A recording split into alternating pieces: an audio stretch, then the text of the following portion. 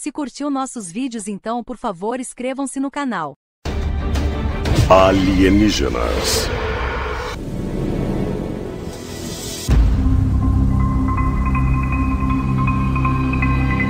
Ica, Peru.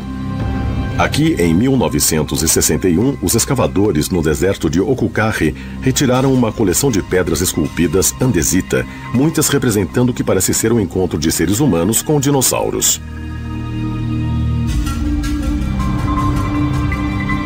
E desde aí, cerca de 50 mil dessas pedras misteriosas têm sido encontradas nessa região. E tinha um velho professor, o Dr. Cabreira. Os índios lhe traziam pedras de todo o país, do Peru. E nessas pedras havia esses entalhes simplesmente fantásticos. Em 1966, o médico peruano Javier Cabreira começou a pesquisar o que se tornou conhecido como as Pedras de Ica. Elas variavam de tamanho, de pequenos seixos a pedras grandes. O Museu do Dr. Cabreira preserva mais de 20 mil dessas pedras esculpidas. Todos os dinossauros morreram há 60 milhões de anos. Então é claro que nenhum ser humano deveria ter visto um dinossauro. Mas há pinturas lindas, pedras esculpidas, onde se veem homens e dinossauros juntos. Às vezes, os homens estão andando nas costas dos dinossauros. O que nós temos aqui é uma pedra Ica para sepultamento, que é rara e que representa que o homem e os dinossauros foram contemporâneos. Nós vemos vários Triceratops, Brachiosauro e T-Rex. Esses tipos de criaturas então, os incas deviam ver ou conhecer bastante sobre os dinossauros, porque eles os desenhavam com precisão. Embora muitos estudiosos de alienígenas acreditem que as pedras datam do século V a.C. ao início do século XIII d.C., na comunidade científica há aqueles que veem sua origem com ceticismo. Mas vamos pensar. Para ter essa enorme quantidade de pedras, seria preciso que um artista esculpisse mais de mil por ano, todos os anos, durante 45 anos. Mesmo que seja provado que as pedras de Ica são verdadeiras, ainda restam várias perguntas. O que aconteceu com os dinossauros? Eles simplesmente foram caçados até serem extintos? Então quem fez isso? E por quê? Imagine um período de tempo em que havia poucos seres humanos neste planeta. Talvez existissem dinossauros. Esses seres podiam matar facilmente nossos ancestrais. Se nossos ancestrais estivessem em um ambiente onde havia dinossauros, haveria uma grande luta pela sobrevivência dos humanos. Os dinossauros poderiam ser muito grandes e bastante territoriais ou simplesmente muito letais para a humanidade permitir sua sobrevivência? Ou havia um plano maior, não dos humanos, mas de seres de outro mundo, como muitos estudiosos de alienígenas especulam? Alguns ossos podem ser de milhares ou até milhões de anos depois que os paleontologistas acreditam que eles foram extintos? Estudiosos de alienígenas acreditam que a resposta seja sim. E eles apontam para evidências encontradas na América do Sul. Nós temos tanta coisa acontecendo no mundo da ciência que fica claro que os cientistas estão jogando um jogo e a noção de que, de alguma forma, os dinossauros desapareceram completamente há 65 milhões de anos agora é uma coisa que a ciência está começando a mudar de opinião. A datação por carbono assume que a concentração de carbono radiativo, carbono 14, é sempre constante. E eu acho que isso pode não ser verdadeiro. Porque o carbono 14 é produzido como resultado de uma interação de raios cósmicos na atmosfera. Mas se essas interações de raios cósmicos mudaram no passado, como pode ter acontecido, então a concentração de carbono 14 que estava presente na atmosfera no momento em que ele foi fixado pode não ser igual à que está sendo determinada no momento do teste eles acreditam que outras evidências serão encontradas no estudo de ameaça à Terra por asteroides.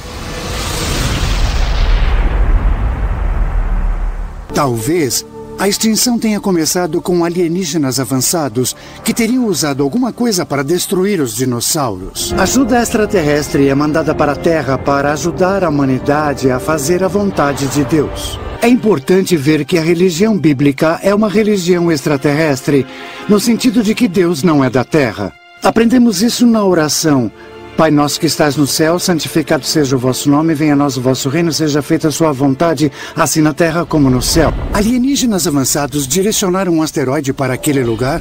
Se nós podemos controlar a trajetória de asteroides, se podemos direcioná-los para longe da Terra, então certamente é possível que alienígenas altamente avançados tivessem a tecnologia para direcionar um asteroide para a Terra. Está dentro da realidade palpável que alienígenas avançados direcionaram um asteroide para a península de Yucatán. Seria possível, como alguns estudiosos de alienígenas acreditam, que o objeto não fosse um asteroide, mas fosse uma arma alienígena? A pergunta é: o impacto foi tão grande assim para provocar a extinção? E é isso que traz controvérsias. Algumas pessoas acham que seria suficiente, algumas pessoas acham que não. Os estudiosos de alienígenas acreditam que a evidência de fato existe. E está nas páginas dos antigos textos hindus. Nós podemos procurar nos antigos textos indianos como Mahabharata. Lá tem histórias que descrevem lagartos de vários tamanhos, alguns do tamanho de um prédio.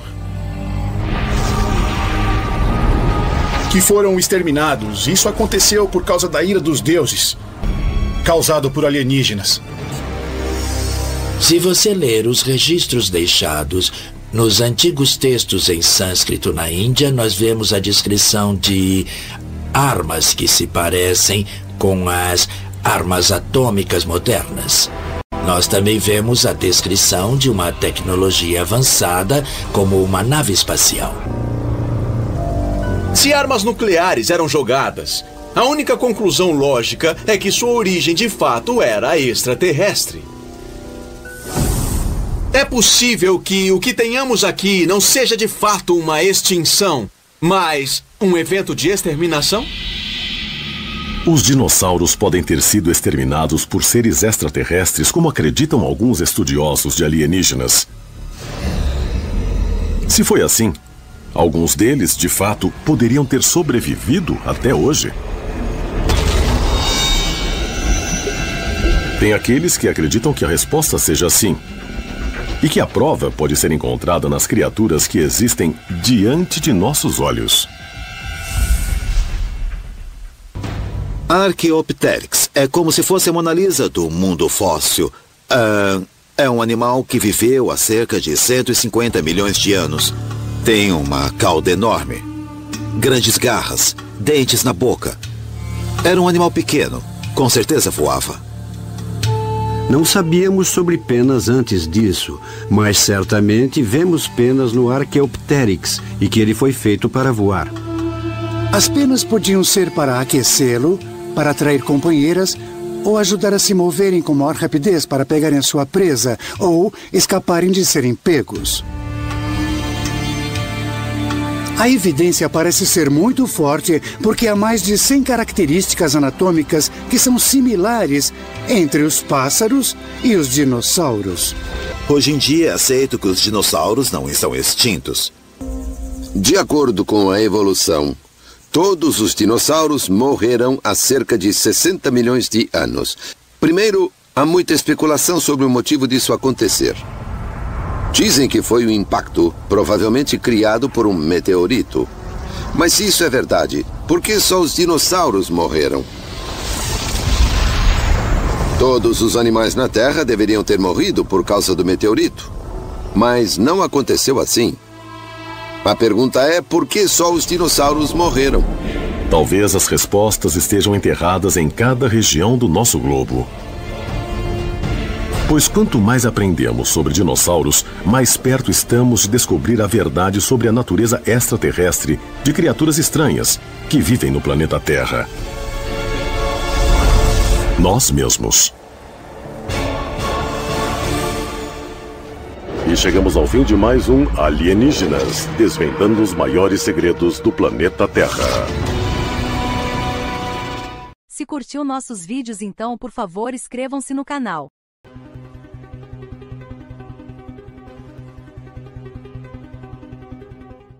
Olá amigos do YouTube. Deixe seu like que o YouTube vai recomendar este vídeo para mais pessoas. Não se esqueça de clicar no sininho para ser avisado quando outro vídeo for postado.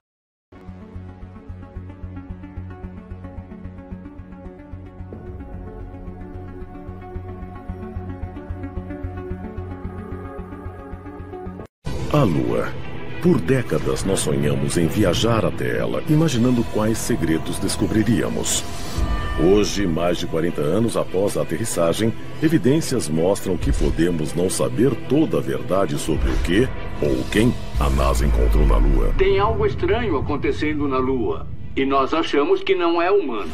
Fotos adulteradas, encontros de astronautas com OVNIs e alegações de conspirações marcam as cinco décadas de história da NASA.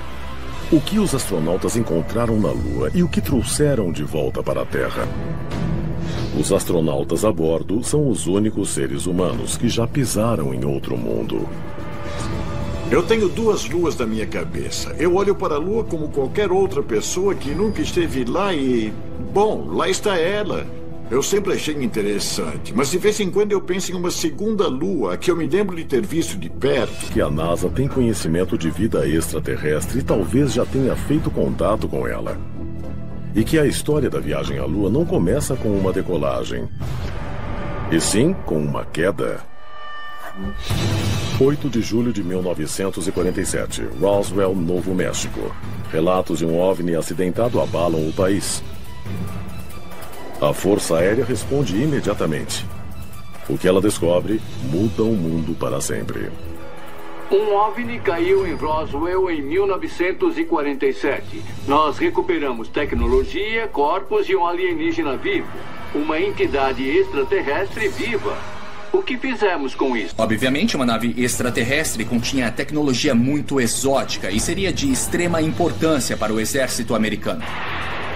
Nos dez anos seguintes, surgem invenções muito à frente do seu tempo. A bomba de hidrogênio, energia solar, microchips, lasers. E o maior orgulho dos Estados Unidos, as espaçonaves da NASA. O que ninguém discute são algumas das fotos que não foram mostradas ao público. Podemos especular que ela transmitiu essas imagens para a Terra e que elas mostravam estruturas artificiais na Lua. Depois que os astronautas da missão Gemini começaram a ver coisas no espaço, eles bolaram codinomes como Fogo, Espantalho e até Papai Noel para descrever objetos que eles viam do lado de fora da nave. Muita gente desconsidera essa fala como uma referência ao Natal, que estava praticamente chegando. Mas muitos outros dizem: bom, Papai Noel era um dos codinomes usados como forma de comunicar ao Cabo Canaveral que eles estavam vendo um OVNI. Se havia tecnologia exótica extraterrestre na Lua, isso sem dúvida alimentaria a nossa necessidade de chegar lá mais rápido para fazer a engenharia reversa dessa tecnologia e usá-la para os nossos propósitos. Se as teorias estiverem corretas, o destino dos Estados Unidos e talvez da humanidade estava nas mãos de Neil Armstrong, Buzz Aldrin e Michael Collin. 16 de julho de 1969. A Apollo 11 é lançada. O mundo inteiro está assistindo. A missão? Fazer o primeiro contato com vida extraterrestre. Uma ideia assustadora. A superfície da Lua parece muito inóspita, quase proibitiva. É um lugar hostil, um lugar assustador. O que podem esconder as conversas entre os astronautas da Apollo 11 e o Capcom, o centro de controle da missão, no Texas. O momento mais importante ocorre quando a transmissão de Buzz Aldrin e Neil Armstrong é cortada subitamente, por dois minutos. Supostamente, nessa transmissão de áudio estão faltando dois minutos. O que poderia haver nesses dois minutos? Circularam algumas transcrições não oficiais da comunicação dizendo basicamente que Armstrong e também Buzz Aldrin viram OVNIs na Lua. Diversos oficiais da NASA confirmam que essa foi realmente uma transmissão genuína de Neil Armstrong. Toda vez que examinamos a comunicação entre o Capcom e os astronautas no espaço, eles usam dois canais: o canal público para troca de informações e o canal exclusivo, a linha do Departamento de Defesa. Eles podem cortar a transmissão pública e manter uma comunicação segura entre os astronautas e o Capcom. A NASA nunca confirmou que esta conversa ocorreu. Mas o próprio Buzz Aldrin veio a público afirmando que um objeto desconhecido foi avistado no exterior da Apollo 11. Teriam Buzz Aldrin e Neil Armstrong sido os primeiros embaixadores humanos no espaço e encontrado alienígenas na Lua? É bem possível que a NASA soubesse desde o início que, ao enviar pessoas à Lua, elas poderiam ter que fazer algum tipo de contato com outras inteligências avançadas. Quando Buzz Aldrin e Neil Armstrong pisaram na Lua pela primeira vez, eles ergueram uma bandeira americana e uma placa celebrando a missão. Mas também deixaram dois outros itens com uma mensagem um ramo de oliveira, simbolizando a paz, e um disco de silício. Nele estariam declarações de 73 líderes mundiais e os nomes de membros importantes do Congresso e da NASA. Mas se a NASA nunca esperou fazer contato com a vida extraterrestre, por que preparou estas ofertas de paz antes da viagem à Lua? O que isso significa para qualquer pessoa de cabeça aberta é que estamos cientes de uma presença extraterrestre e fizemos ofertas de paz aos ETs. Teria a Apollo 11, com suas mensagens de paz, firmado uma aliança com uma raça extraterrestre que perdura até hoje? Ou aconteceu algo que impede a humanidade de retornar?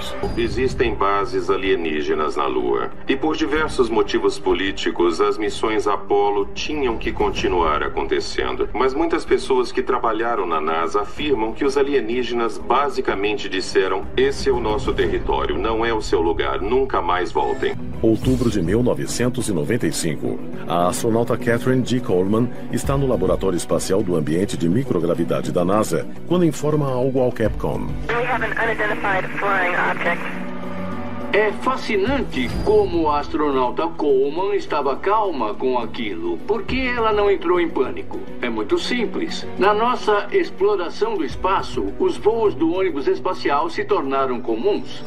E as aparições de espaçonaves extraterrestres acompanhando as missões também se tornaram comuns. A NASA responde que o comentário foi apenas uma observação inofensiva. Eles também alegam que um avistamento era impossível, pois o laboratório não possui janelas.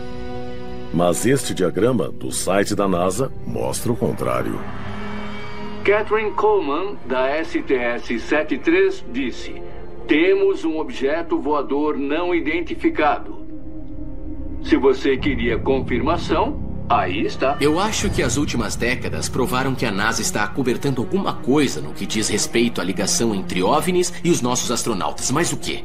Dando uma olhada nos relatórios elaborados nas vezes em que nós fomos à Lua e enviamos astronautas até lá, eles relatam ter visto uma base extraterrestre. É possível que tudo que fotografamos na Lua nunca tenha sido mostrado ao público em geral. Esta imagem mostra o astronauta John Young saudando a bandeira americana ao lado do veículo de exploração lunar. O que ela não mostra torna-se mais claro com o ajuste da exposição. Existe uma foto muito famosa do astronauta John Young batendo continência. Atrás do ombro dele, bem ao fundo, há uma luz. Seria um OVNI? Um globo luminoso? Uma prova verdadeira de presença extraterrestre? À esquerda de John Young, à nossa direita, há marcas de navalha.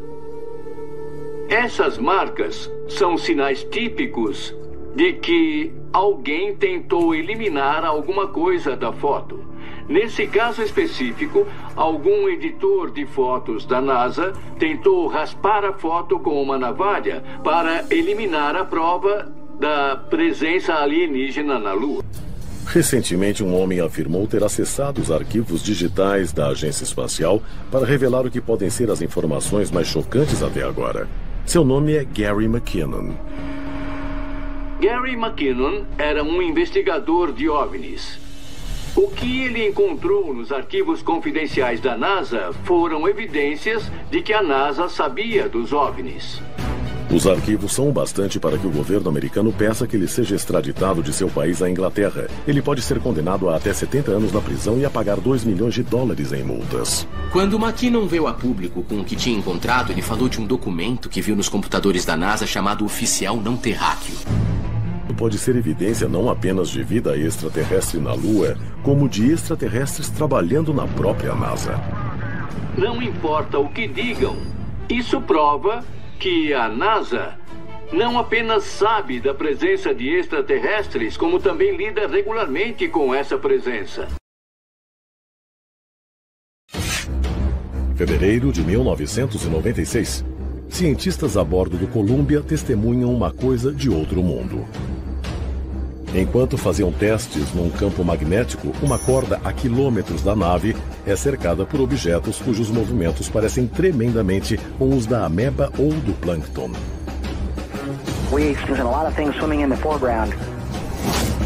As criaturas que vivem no nosso céu seriam inofensivas ou monstros perigosos? O que aconteceria se a nossa atmosfera mudasse drástica e repentinamente, permitindo que essas criaturas a transpusessem? As descobertas recentes de depósitos massivos de micro-organismos vivos na nossa atmosfera revelam que eles possuem uma resistência surpreendente à radiação ultravioleta. Algo de que somos protegidos pela camada de ozônio. Há décadas lutamos contra a diminuição da camada de ozônio, mas em 2010 a NASA anunciou que uma das camadas da atmosfera superior teria colapsado inexplicavelmente. Uma terra bombardeada por raios ultravioleta poderia criar um habitat ideal para essas criaturas alienígenas não inteligentes.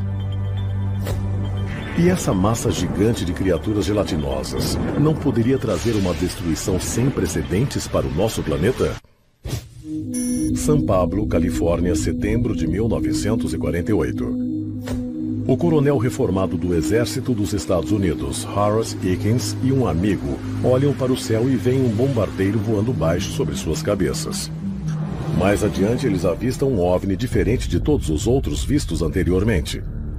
Eles os descreveriam como uma ameba enorme flutuante com uma mancha preta próxima ao centro, como se fosse o núcleo de uma célula gigante.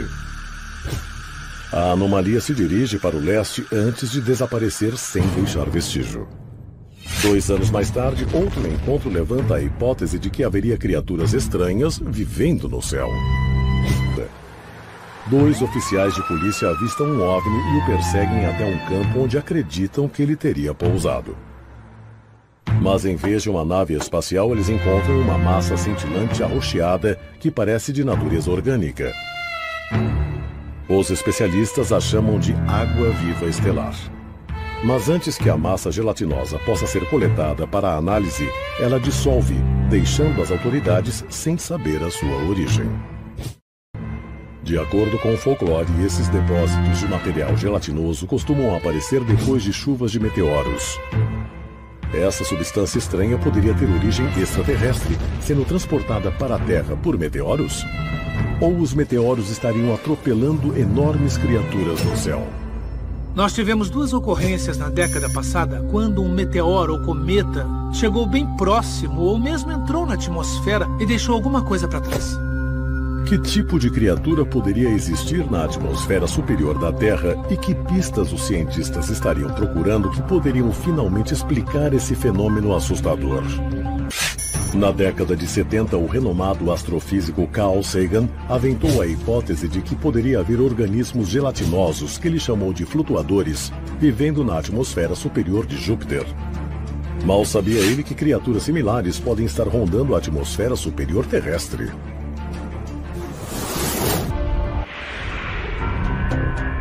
Até agora, nós obviamente não descobrimos nada sobre a vida extraterrestre porque não fomos contatados. Mas eu acho que para nossos objetivos, qualquer momento que paramos para pensar e descobrir como queremos comunicar alguma coisa, isso expande os nossos limites e a compreensão da comunicação. Todos queremos encontrar alienígenas. Os cientistas procuram sinais de vida em um planeta distante. Querem achar sinais de vida de alienígenas que vieram do passado. E as pessoas comuns querem ter experiências com OVNIs e alienígenas que os visitaram recentemente. Queremos a mesma coisa. A busca por seres extraterrestres continua e um novo telescópio espacial procura planetas que possam conter vida. Existirão outras terras? Como nós as encontraremos? Próxima à Terra, a atmosfera é uma grande mistura de gases, produzindo fenômenos espetaculares que a ciência ainda está tentando entender. Mas alguns especialistas acreditam que muitos espetáculos de luzes atmosféricas seriam, na verdade, causados por extraterrestres.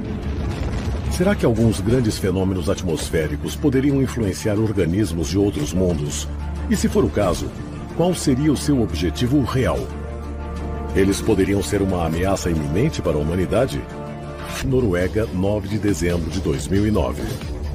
O Instituto Norueguês de Meteorologia recebe vários telefonemas depois de milhares de pessoas terem testemunhado uma espiral gigante de luz no céu noturno da cidade.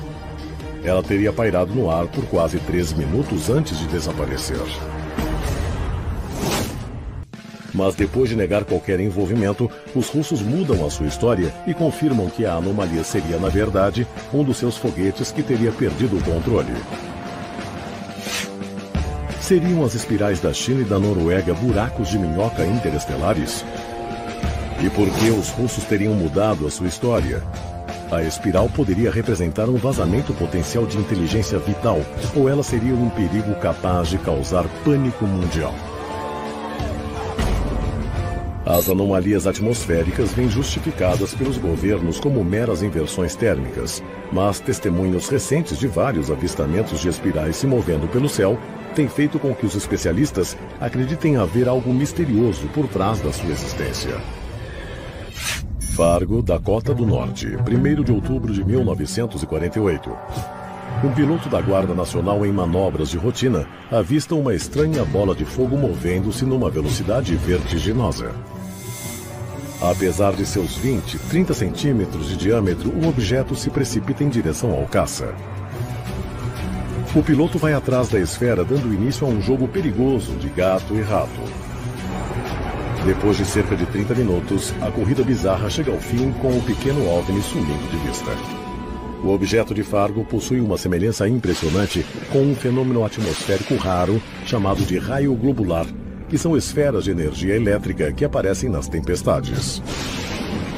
Em vez de se precipitar instantaneamente para a Terra como os relâmpagos convencionais, o raio globular pode durar muito mais tempo e se mover em qualquer direção antes de explodir.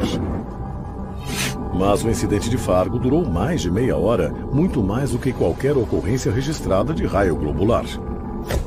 E segundo o relato oficial do piloto, ele afirma ter podido sentir os pensamentos por trás do comportamento do OVNI. Pouco tempo depois, os militares iniciam um estudo de todos os encontros com OVNIs. Eles querem saber se o objeto de Fargo poderia ser, na verdade, algum tipo de animal. Seria possível? Será que alguns OVNIs poderiam, na verdade, ser algum tipo de formas biológicas vivendo na nossa atmosfera superior? Em 2009, cientistas indianos lançam um balão na estratosfera terrestre para coletar amostras de partículas. Mas o artefato volta trazendo uma bactéria desconhecida que demonstra uma resistência significativamente maior à radiação ultravioleta. Bem maior do que qualquer criatura similar na Terra. Essas formas de vida estranhas e microscópicas poderiam ter vindo do espaço. Em fevereiro de 2013, descobertas de água-viva estelar na Inglaterra fazem com que muitos as associem com o meteorito de Chelyabinsk, na Rússia. Essas substâncias gelatinosas poderiam ser as carcaças de criaturas semelhantes a amebas gigantes que vivem na nossa atmosfera? Hoje vamos expor o que pode ser uma história real incrível que conecta os encontros alienígenas em todo o mundo. Essas pessoas podem sequer ser humanos. E culmina em uma batalha extraterrestre pelas armas mais poderosas do planeta Terra. Alguns acreditam que havia um alienígena lá. Um ser extraterrestre. É algo diferente de tudo que você já ouviu. Venha conhecer o mistério e seu alienígena alienígenas.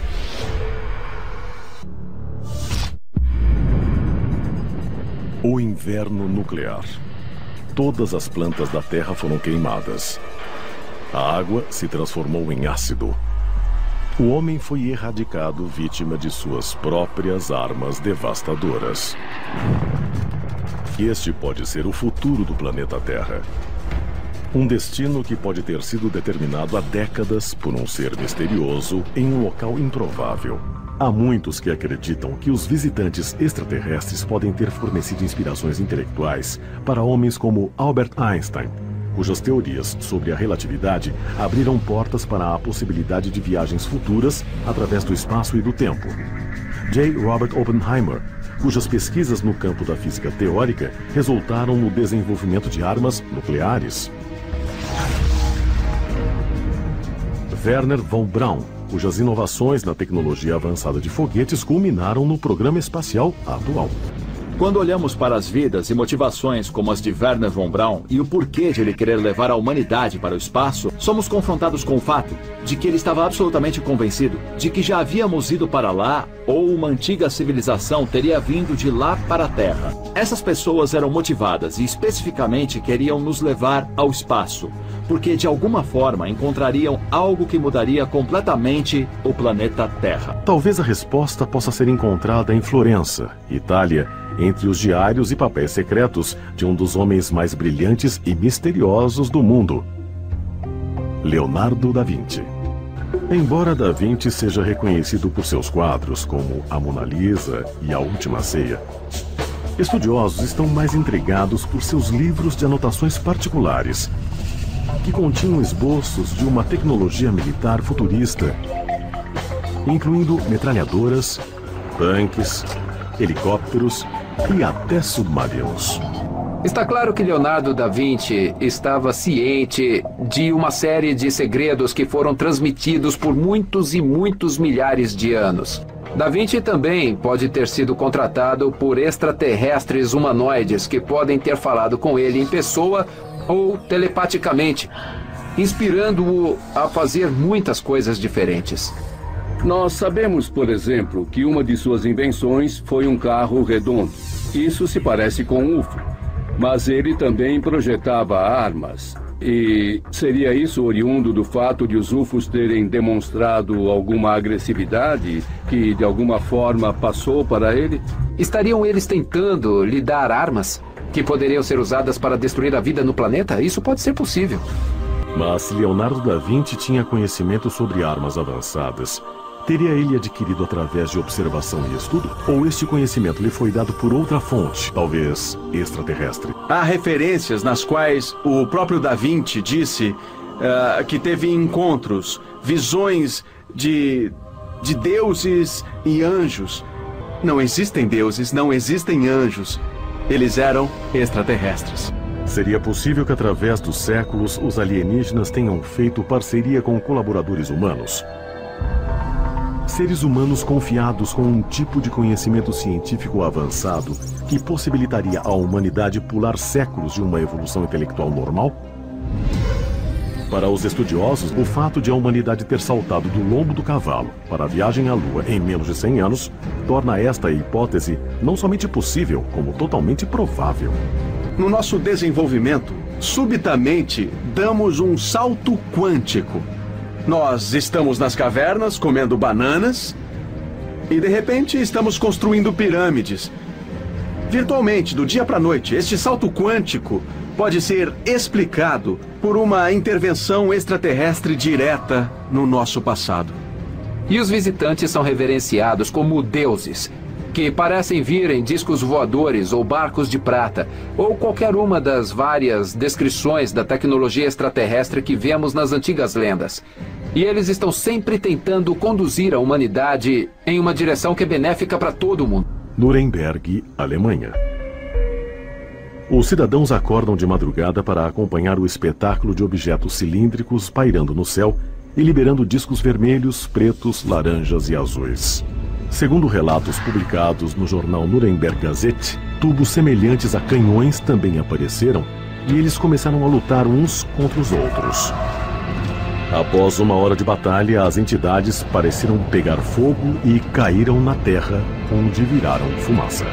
Cinco anos depois, o arquiteto austríaco Hans Glaser criou uma gravura de madeira detalhando o que observou durante o famoso evento. Naquela gravura e nos relatos das testemunhas, realmente podemos ver UFOs em batalha. Os relatos diziam que eles estavam combatendo uns aos outros, atirando uns nos outros. Se observar o canto direito na base da gravura, verá fumaça saindo de alguns círculos no chão. Está claro que eles caíram, foram abatidos. Isso é muito interessante, pois mostra que o padrão de agressão entre os UFOs realmente existe há muito tempo.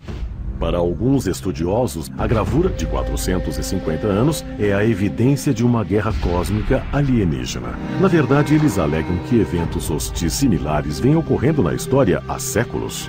As evidências, a partir dos registros, dos depoimentos das testemunhas, mostram uma conexão entre os UFOs e uma tentativa de diminuição, uma aparente intenção de aniquilar ou diminuir a raça humana. Por exemplo, durante os anos da praga, Houve muitos relatos de UFOs, luzes brilhantes no céu que espalhavam gases.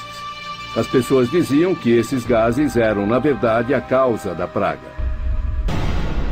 A resposta começa do outro lado do mundo, em Woomera, na Austrália.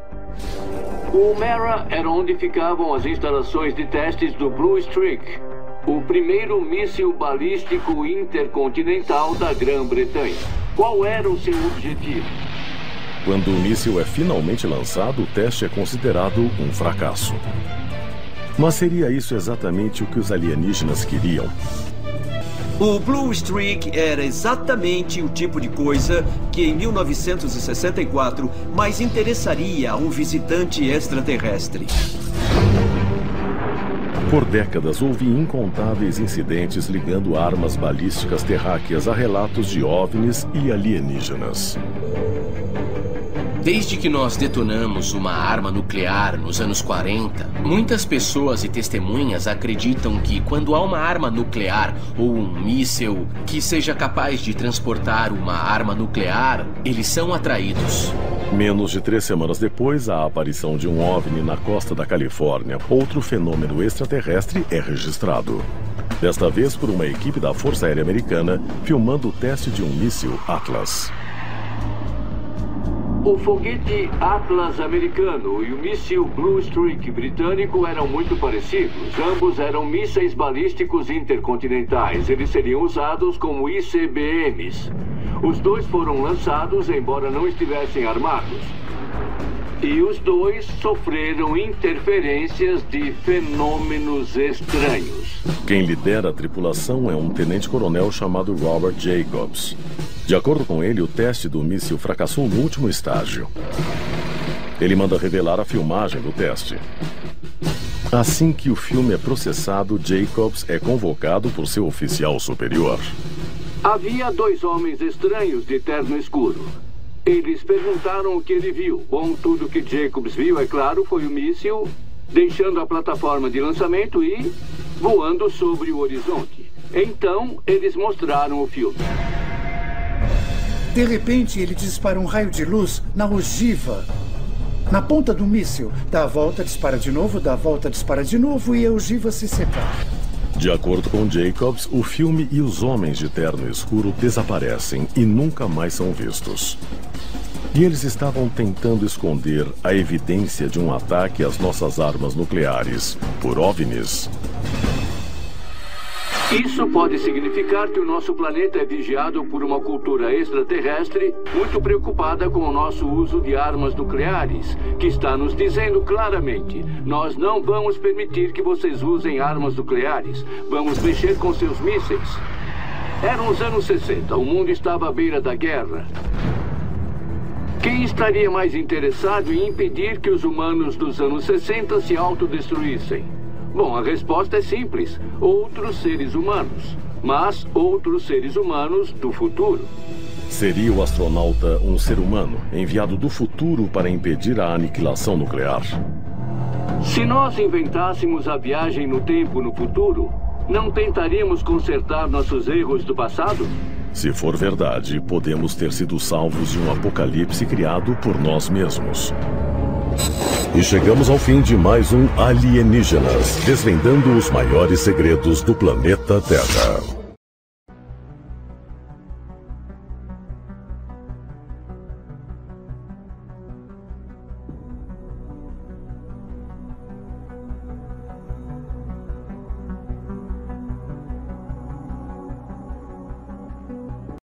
Evidências sugerem que as regiões de OVNI do mundo podem estar conectadas com uma conspiração alienígena contra o planeta Terra.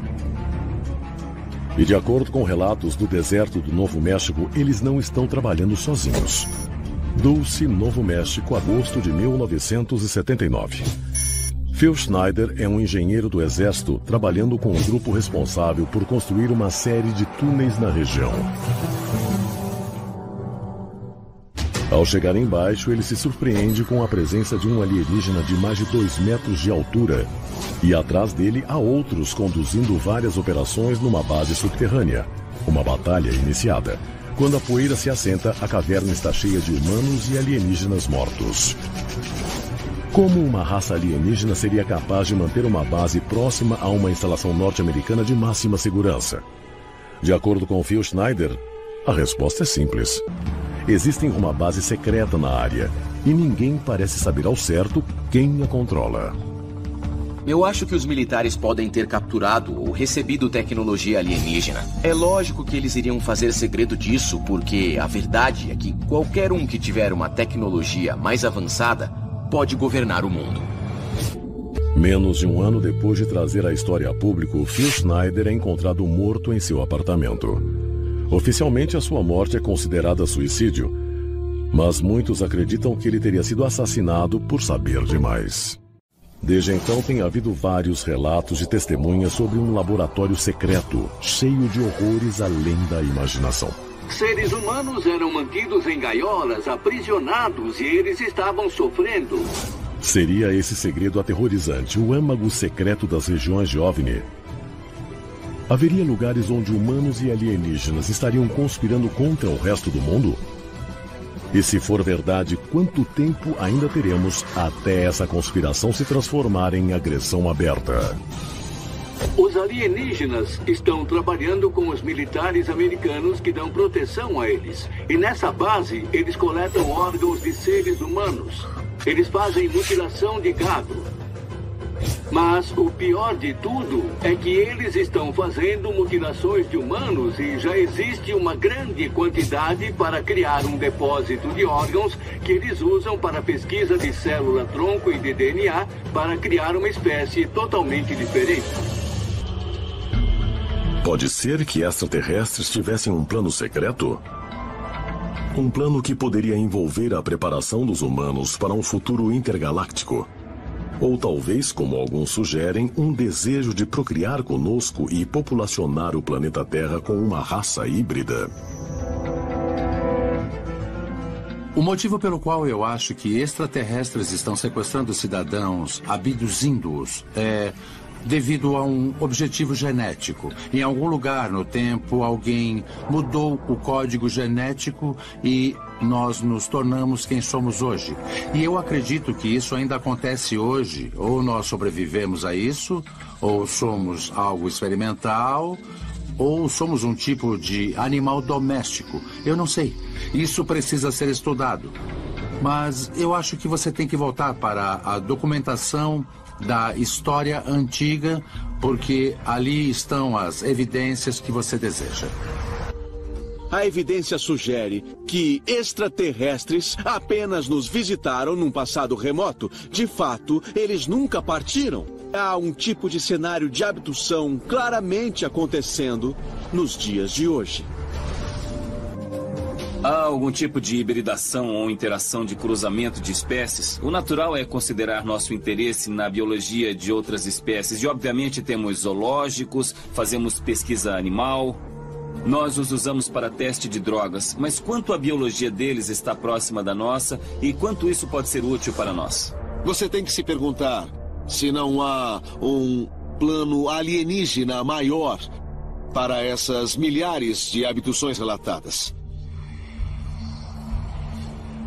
É uma preparação para algo que vai acontecer no futuro. E todas essas abduções são um meio de preparar a humanidade para esse grande evento. Acho que há mais do que um tipo de ser vindo para cá. Eu diria que há planos alienígenas no plural. E eu acho que muito do que dizemos sobre abdução não é realmente uma abdução no sentido verdadeiro da palavra. Eu acho que em muitos casos, ao menos no meu, eles estavam tentando ajudar. E se estamos lidando com uma ou mais inteligências, talvez eles tenham planos diferentes. Mas talvez tenha alguma coisa ali que seja aliado para a evolução de humanoides. E nós somos o último modelo. Pode ser que os numerosos relatos de abduções, não só recentes, mas também do passado, realmente forneçam evidências de um plano extraterrestre. Um plano não só para se comunicar conosco, mas para que nós nos comuniquemos através deles. Se for assim, qual é a mensagem? Estamos sendo preparados para um futuro brilhante? E pode ser que essas chamadas abduções sejam um conjunto do nosso passado remoto? Um fato parece claro. Muitos acreditam que o contato está sendo feito. E o futuro da humanidade pode estar mais próximo do que pensamos. Alamo Gordo, Novo México, 1975. Ted Davenport, de 16 anos, está acampando sozinho num deserto próximo. À noite, ele sai da sua barraca e se surpreende ao ver um grupo de pequenos seres humanoides. Ele desmaia. Cinco anos depois, Ted está na marinha quando sofre um grave acidente e é levado ao hospital com urgência. Uma ressonância magnética revela um implante metálico em seu cérebro. Os médicos se recusam a extrair. Davenport alega que os alienígenas usaram o implante para controlar não só o seu cérebro, como também os cérebros dos médicos que o atenderam. Muitos especialistas acreditam que se nós estamos sendo monitorados, esse pode ser o menor dos nossos problemas. Arizona, 5 de novembro de 1975. Travis Walton é um madeireiro trabalhando numa floresta do Arizona. Após o fim do seu turno, a equipe está voltando para o acampamento quando avistam uma luz brilhante por trás de uma colina. Quando eles se aproximam, encontram a fonte da luz brilhante, um enorme disco cinza. Walton e os outros operários param para investigar. Walton supostamente desmaia do local da abdução e só conseguia se lembrar de algumas horas do encontro. Mas o mais chocante é que cinco dias tinham passado. Pouco tempo depois, ele e a equipe passaram por um teste do polígrafo. Eles foram questionados. Você disse a verdade sobre ter visto um OVNI quarta-feira passada quando Travis Walton desapareceu? Todos responderam sim. Será que os alienígenas podem manipular conceitos como o tempo e o espaço? E se sim, será que os alarmantes relatórios de encontros pelo mundo servem apenas para ressaltar o quão vulnerável está a raça humana à dominação extraterrestre? Phoenix, Arizona, março de 1997. Moradores observam deslumbrados um grupo de luzes brilhantes surgir no céu. Elas são vistas ao norte e parecem estar imóveis no ar.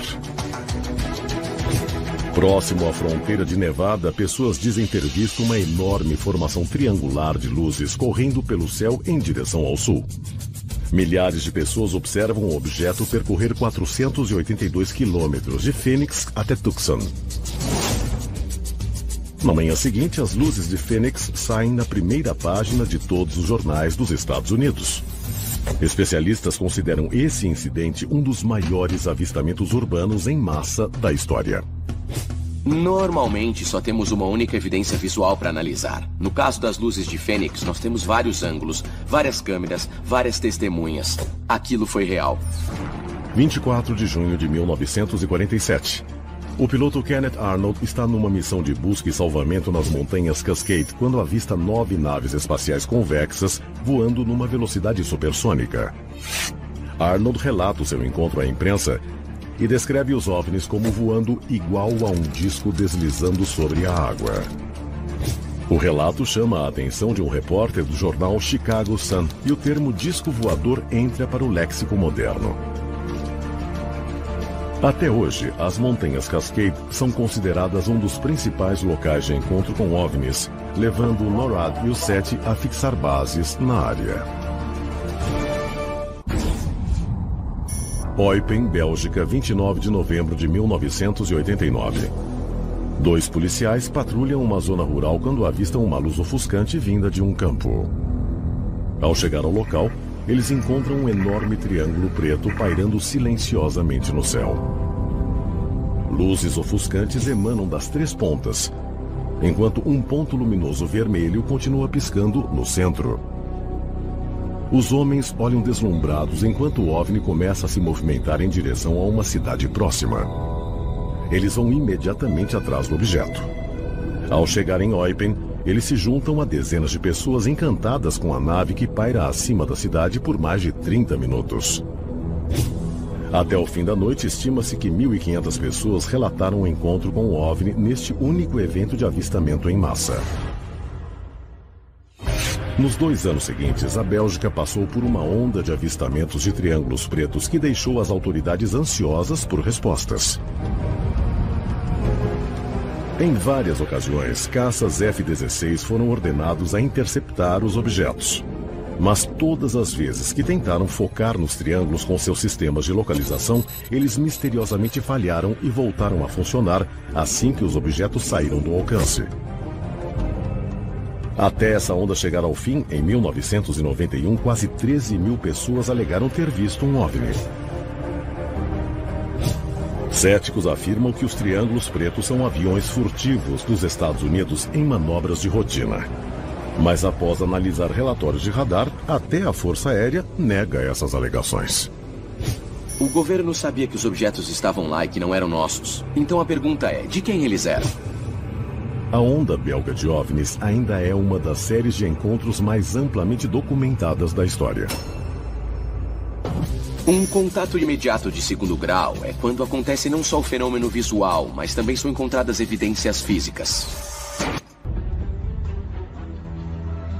Parece haver muitas provas relativamente consistentes em relação a homens e mulheres abduzidos de que eles têm algum interesse em nosso processo reprodutivo. Há também algumas provas de que os abduzidos foram colocados em contato com crianças híbridas em naves espaciais e que parecem ter algumas características humanas e algumas características que não são muito humanas. Três anos depois, Brad Olden alega que ele foi novamente visitado e abduzido por alienígenas cinzentos. Eu fui levado por dois pequenos alienígenas para uma área que eu nunca tinha visto antes. Depois de alguns minutos, eu pude ver que ele era um híbrido feminino. Ela estava carregando uma criança pequena com ela. E quando se aproximou, eu também pude ver que uh, a criança que ela carregava era um híbrido feminino. Eu senti uma ligação com a criança, o que me levou a crer que ela devia ter algo de mim.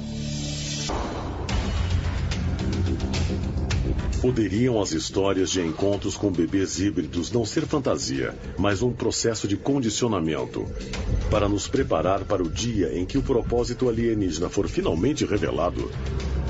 Mas se nós estamos sendo sutilmente e estrategicamente alterados, o que isso vai causar afinal?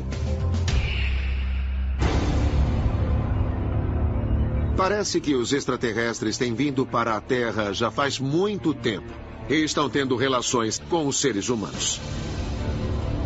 E a razão disso seria para manipular o nosso DNA, nos tornando uma raça mais refinada em relação ao que nós somos hoje.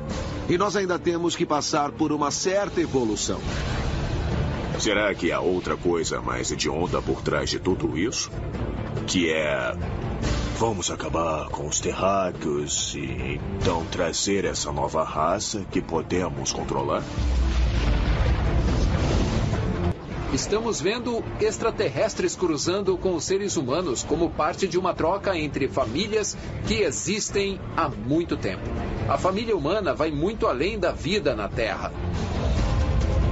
Seres humanos extraterrestres podem estar vindo aqui para reabastecer seu suprimento de genética. Pode ser literalmente uma questão de vida ou morte para eles.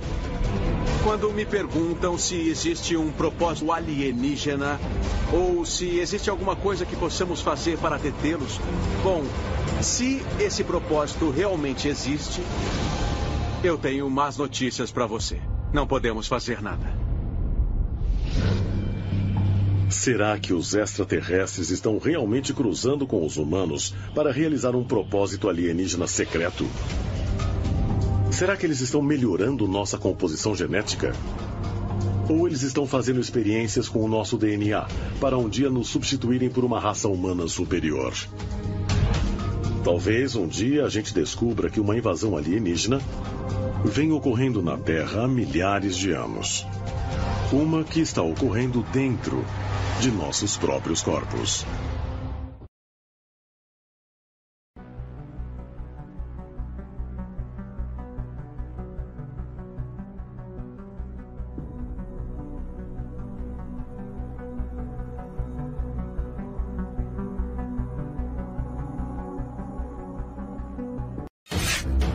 Fevereiro de 1996. Cientistas a bordo do Columbia testemunham uma coisa de outro mundo. Enquanto faziam testes num campo magnético, uma corda a quilômetros da nave é cercada por objetos cujos movimentos parecem tremendamente com os da ameba ou do plâncton.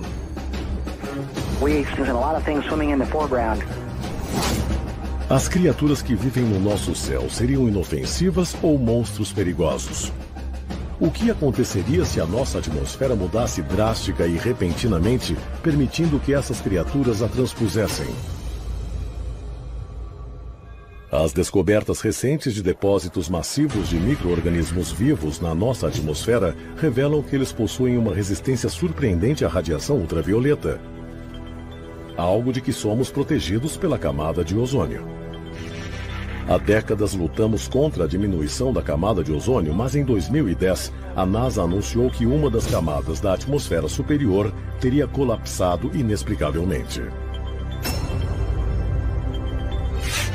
Uma terra bombardeada por raios ultravioleta poderia criar um habitat ideal para essas criaturas alienígenas não inteligentes. E essa massa gigante de criaturas gelatinosas não poderia trazer uma destruição sem precedentes para o nosso planeta? São Pablo, Califórnia, setembro de 1948. O coronel reformado do Exército dos Estados Unidos, Horace Higgins, e um amigo olham para o céu e veem um bombardeiro voando baixo sobre suas cabeças. Mais adiante, eles avistam um OVNI diferente de todos os outros vistos anteriormente. Eles os descreveriam como uma ameba enorme flutuante com uma mancha preta próxima ao centro, como se fosse o núcleo de uma célula gigante. A anomalia se dirige para o leste antes de desaparecer sem deixar vestígio. Dois anos mais tarde, outro encontro levanta a hipótese de que haveria criaturas estranhas vivendo no céu. Dois oficiais de polícia avistam um OVNI e o perseguem até um campo onde acreditam que ele teria pousado.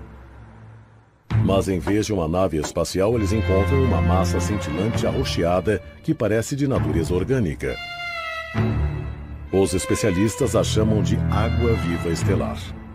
Mas antes que a massa gelatinosa possa ser coletada para análise, ela dissolve, deixando as autoridades sem saber a sua origem.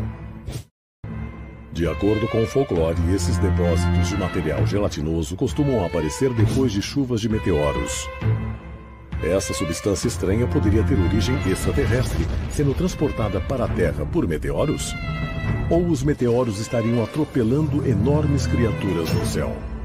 Nós tivemos duas ocorrências na década passada quando um meteoro ou cometa chegou bem próximo ou mesmo entrou na atmosfera e deixou alguma coisa para trás. Que tipo de criatura poderia existir na atmosfera superior da Terra e que pistas os cientistas estariam procurando que poderiam finalmente explicar esse fenômeno assustador? Na década de 70, o renomado astrofísico Carl Sagan aventou a hipótese de que poderia haver organismos gelatinosos, que ele chamou de flutuadores, vivendo na atmosfera superior de Júpiter.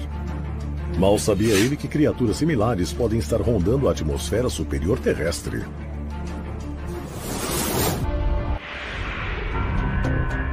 Até agora, nós obviamente não descobrimos nada sobre a vida extraterrestre porque não fomos contatados. Mas eu acho que para nossos objetivos, qualquer momento que paramos para pensar e descobrir como queremos comunicar alguma coisa, isso expande os nossos limites e a compreensão da comunicação. Todos queremos encontrar alienígenas. Os cientistas procuram sinais de vida em um planeta distante. Querem achar sinais de vida de alienígenas que vieram do passado. E as pessoas comuns querem ter experiências com OVNIs e alienígenas que os visitaram recentemente. Queremos a mesma coisa.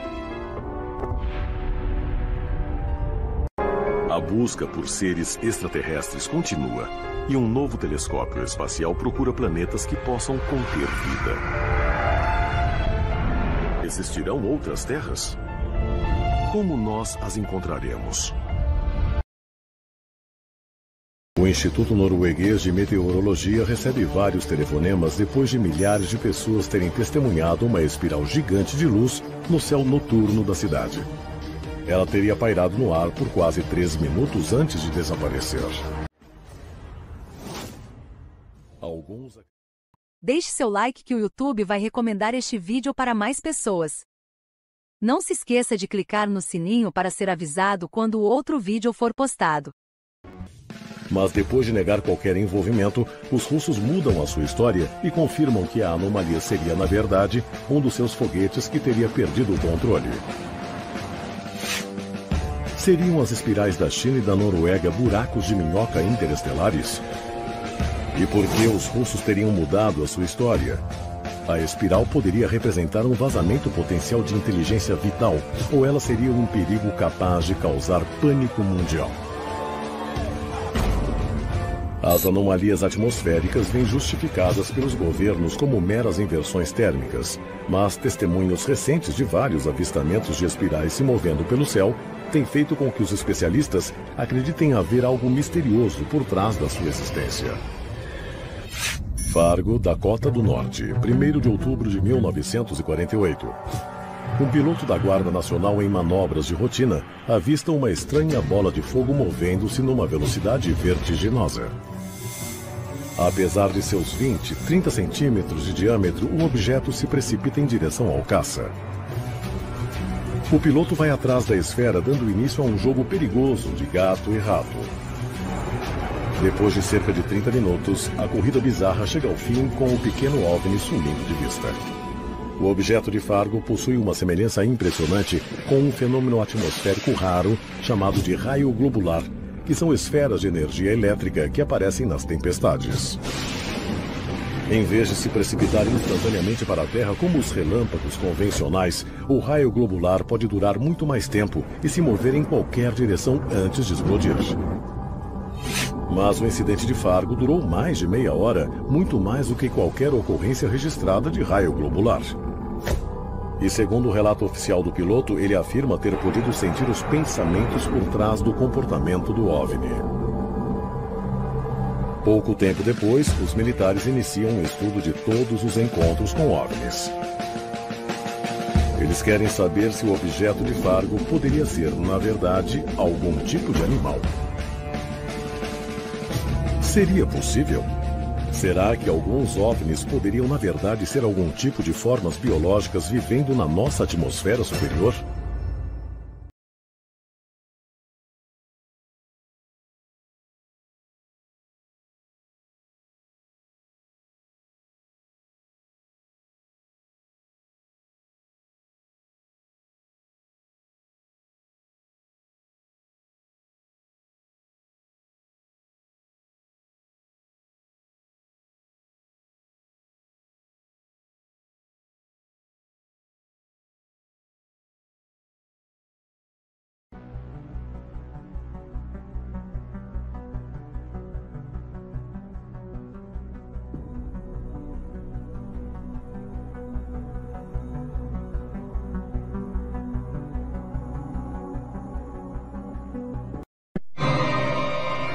Vaticano, o epicentro da fé católica romana. Representando um sexto da população mundial, é uma das instituições mais antigas e poderosas do mundo. Seja como objeto de fé ou de polêmica. A mais recente e chocante envolve a participação desta ordem sagrada em uma das maiores conspirações da história. A igreja está se preparando para aceitar a vida fora do planeta Terra como parte da criação. De acordo com ufólogos, autoridades do Vaticano possuem o conhecimento de vida extraterrestre há séculos. Uma acusação tão explosiva e repleta de consequências que foi negada categoricamente por gerações de papas e cardeais. Mas e se ela for verdadeira? Acredita-se até hoje que nem tudo foi revelado. Hoje, vamos revelar os segredos extraterrestres que os muros desta cidadela religiosa podem esconder, incluindo admissões chocantes de membros do clero. E possíveis provas de vida extraterrestre supostamente ocultadas há séculos. Venha descobrir os segredos que o Vaticano guarda sobre alienígenas. No século XVII, o Papa Paulo V ordenou que documentos confidenciais da Igreja Católica fossem retirados da Biblioteca do Vaticano e a fechou para o público até 1881. Hoje, os arquivos secretos do Vaticano são fortemente guardados. E alguns pesquisadores acreditam que podem conter revelações tão explosivas que ameaçam a doutrina da Igreja Católica. Precisamos perguntar se a biblioteca secreta do Vaticano, cuja existência eles reconhecem, não possui relatos ou crônicas sobre contatos extraterrestres dos quais a Igreja Católica tem registro e sabe que ocorreram. Mas mantém em segredo. Será que os arquivos secretos do Vaticano contêm detalhes das mensagens que Giordano Bruno pode ter recebido dos alienígenas? Talvez o Vaticano saiba muito mais sobre a vida no universo do que alega. É claro que o Vaticano sabe sobre a vida alienígena. 8 de abril, 6 e 3 da manhã. Horas antes do funeral de João Paulo II, um objeto voador não identificado é gravado por uma câmera de segurança observando a Basílica de São Pedro. Seria este misterioso objeto prova de uma ligação entre o Vaticano e a vida extraterrestre? Uma ligação que, segundo teóricos e historiadores, existe desde a fundação da Igreja. A possibilidade de a nave estar prestando homenagem ao Papa e ao seu povo é maior do que você imagina. Entre os segredos mais secretos da Igreja Católica está a crença em extraterrestres. Torum, na Polônia, 1543. Nicolau Copérnico dá origem à astronomia moderna ao provar que a Terra gira em torno do Sol e não o contrário. Cinco anos depois, Giordano Bruno nasce em Nápoles, no sul da Itália. Bruno leva as teorias de Copérnico além, defendendo a existência de vida em outros planetas. Segundo a teoria de Bruno sobre o cosmos, os terráqueos não são as únicas pessoas no universo. A igreja não gostou muito dessa história. Em 1600, Bruno é condenado por heresia e queimado na fogueira. Ele é a primeira pessoa na história a ser executada pela Igreja Católica por crenças que incluem a possibilidade de vida extraterrestre. Mas Bruno foi sacrificado para cobertar um segredo que a igreja supostamente esconde há 1500 anos? Aquela igreja acreditava que nós humanos fomos feitos por Deus como centro de tudo. Nós fomos os primeiros e os únicos, mas o universo é muito maior. Existe muito mais coisa. Na verdade, possíveis ligações entre a fé católica e seres alienígenas são quase tão antigas quanto a própria religião. Objetos estranhos aparecem na arte cristã desde o século XV. Com frequência, os artistas colocam símbolos no céu, mas em alguns casos, eles parecem discos voadores. Uma pintura, a Madonna com San Giovannino, retrata a Virgem Maria em primeiro plano. Na Idade Média e ao longo da Renascença, eles pegavam eventos do presente e os retratavam nas pinturas. Essas eram coisas reais que as pessoas viam no céu. E San Giovannino, ao fundo, olhando para o céu, e ele vê uma nave. Claramente visível na pintura. O batismo de Cristo, pintado em 1710, mostra o que parece ser um disco voador iluminando Jesus. A crucificação mostra um par de supostos OVNIs. Seriam os objetos retratados nestas obras de arte registros de devoção religiosa? Ou evidência da ligação da igreja com espaçonaves e talvez com criaturas de outro planeta. No Milagre na Neve, temos um retrato de Jesus e Maria no alto, e abaixo temos o que podemos descrever como uma frota de OVNIs ou discos voadores diretamente abaixo deles. Não, desculpa, isso não é um anjo alado, nem uma imagem de Deus. O que era aquilo 500 anos atrás, não sabemos. Os discos recorrentes na história da arte cristã são idênticos a registros e relatos modernos de OVNIs. Estariam os artistas retratando o que viram ou ouviram de testemunhas? E se os OVNIs são vistos com tanta clareza ao longo da história, por que a igreja nega sua presença? Estaria o Vaticano ocultando o conhecimento de vida extraterrestre e só agora estamos descobrindo a verdade? É bem provável que algumas das experiências religiosas documentadas há séculos sejam, na verdade, de uh, natureza extraterrestre. Em 13 de outubro de 1917, em Fátima, Portugal, ocorreu uma aparição de OVNI com mais de 70 mil testemunhas. Durante o evento, a chuva parou Algumas testemunhas afirmam que as nuvens se abriram e o que foi descrito como uma nave em forma de disco desceu dos céus até a terra. De acordo com as testemunhas, três crianças se aproximaram do objeto e testemunharam a aparição de uma linda mulher. A visão também incluiria um veículo brilhante em forma de globo, derramando pétalas de rosas que desapareciam ao tocar o chão. De acordo com as meninas, a aparição lhes passou uma mensagem enigmática. Ao longo dos anos, elas afirmam que se tratava da Virgem Maria, mas é bem possível que tenha sido outra coisa. Aquela aparição, aquela visão, aquela entidade passou uma mensagem às três meninas. Era uma visão do futuro, uma profecia do futuro.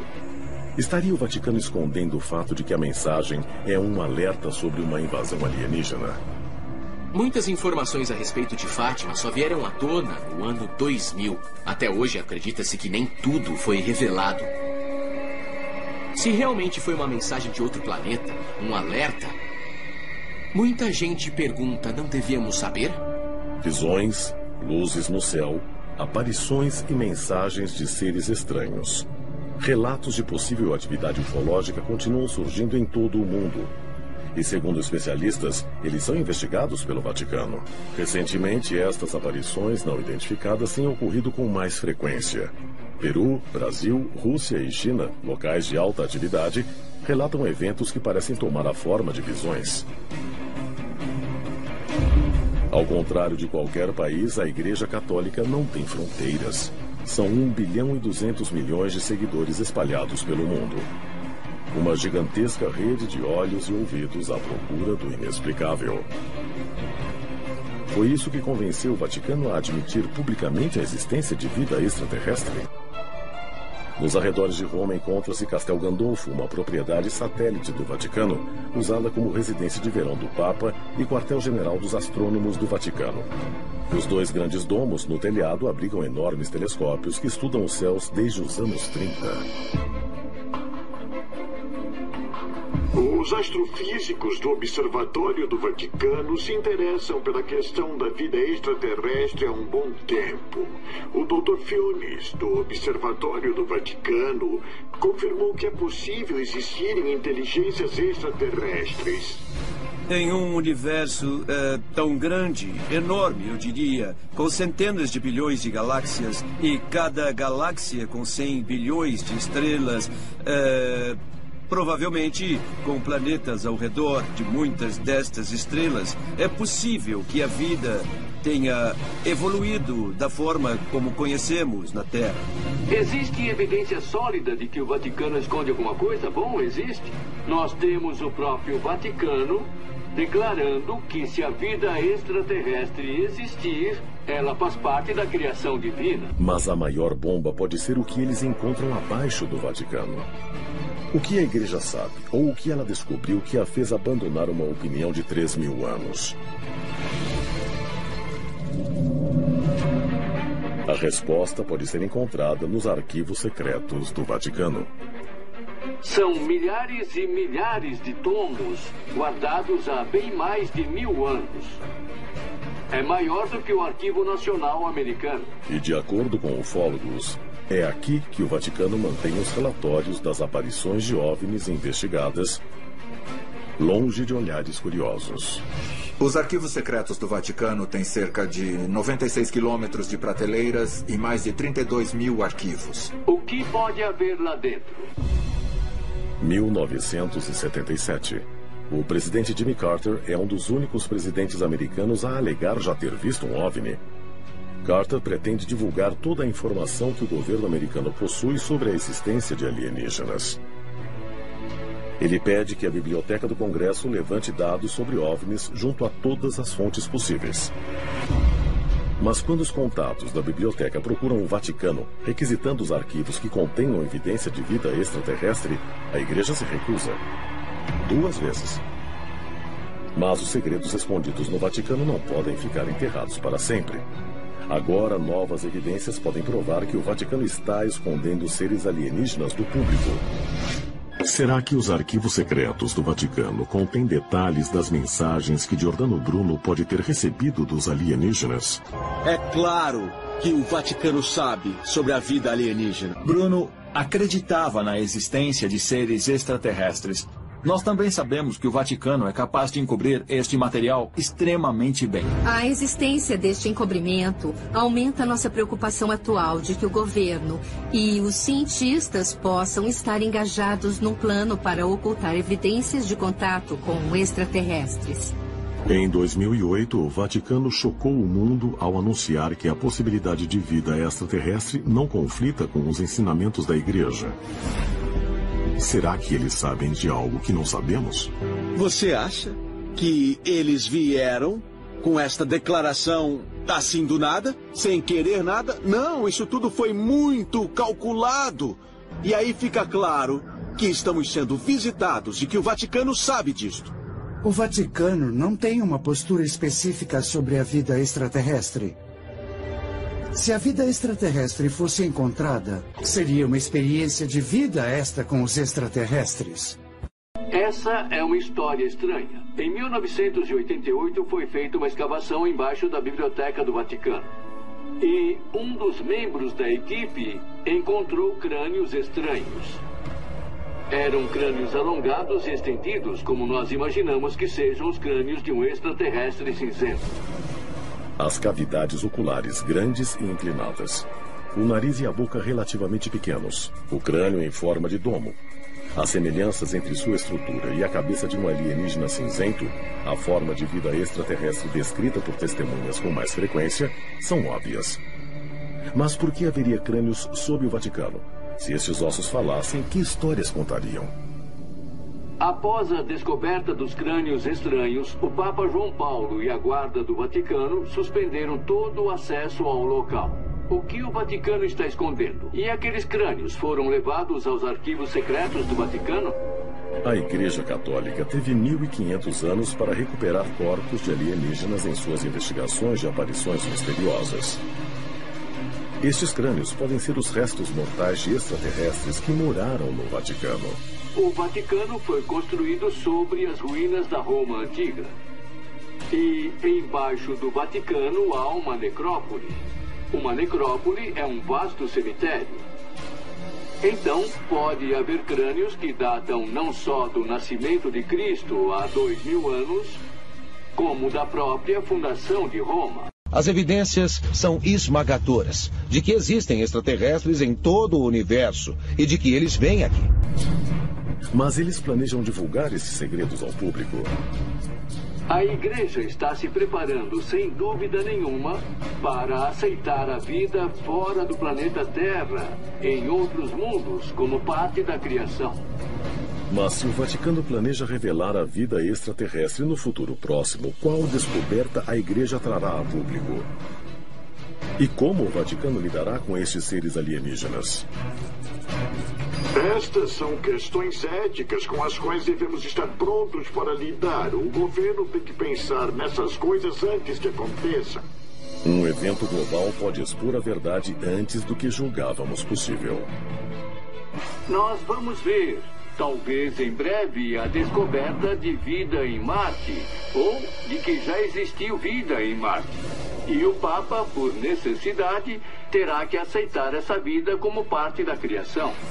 Quando a verdade extraterrestre for divulgada, a igreja usará a oportunidade para converter mais fiéis ao catolicismo?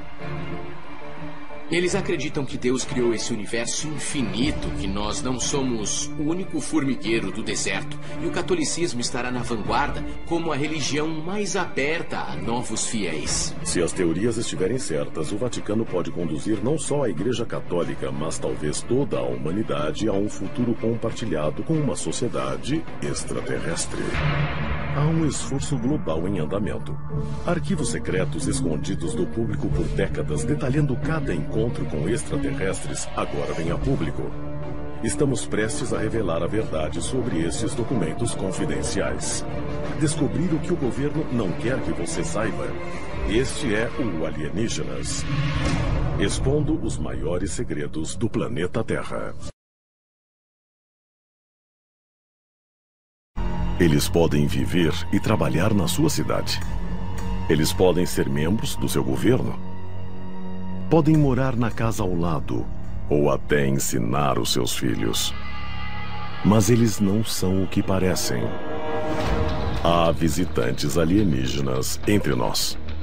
De uma raça extraterrestre sob as ruas de Los Angeles, a descoberta de um laboratório secreto, onde os humanos não apenas conduzem os experimentos, eles são os experimentos.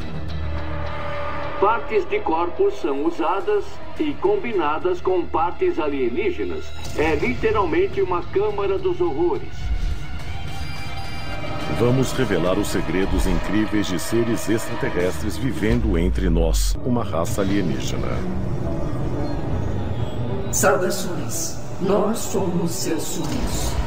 Venha conhecer os segredos dos alienígenas entre nós. Alguns chegam a afirmar que os membros da família real, uh, líderes políticos, membros da elite global, estes alienígenas em forma humana, baixam a guarda. Se for verdade, estes seres podem nos levar à extinção, protegidos por um disfarce humano impenetrável. Resta alguma esperança para a humanidade? A visão mais comum dos alienígenas é de que eles estão aqui para nos eliminar. Mas existem alienígenas que, na verdade, seriam nossos ancestrais. E eles estariam aqui para nos ajudar e nos guiar. E se for assim, haverá evidências em outras partes do mundo de contato entre humanos e extraterrestres? Palm Springs, Califórnia. Em 1954 é onde o presidente Dwight D. Eisenhower vai passar suas férias de inverno.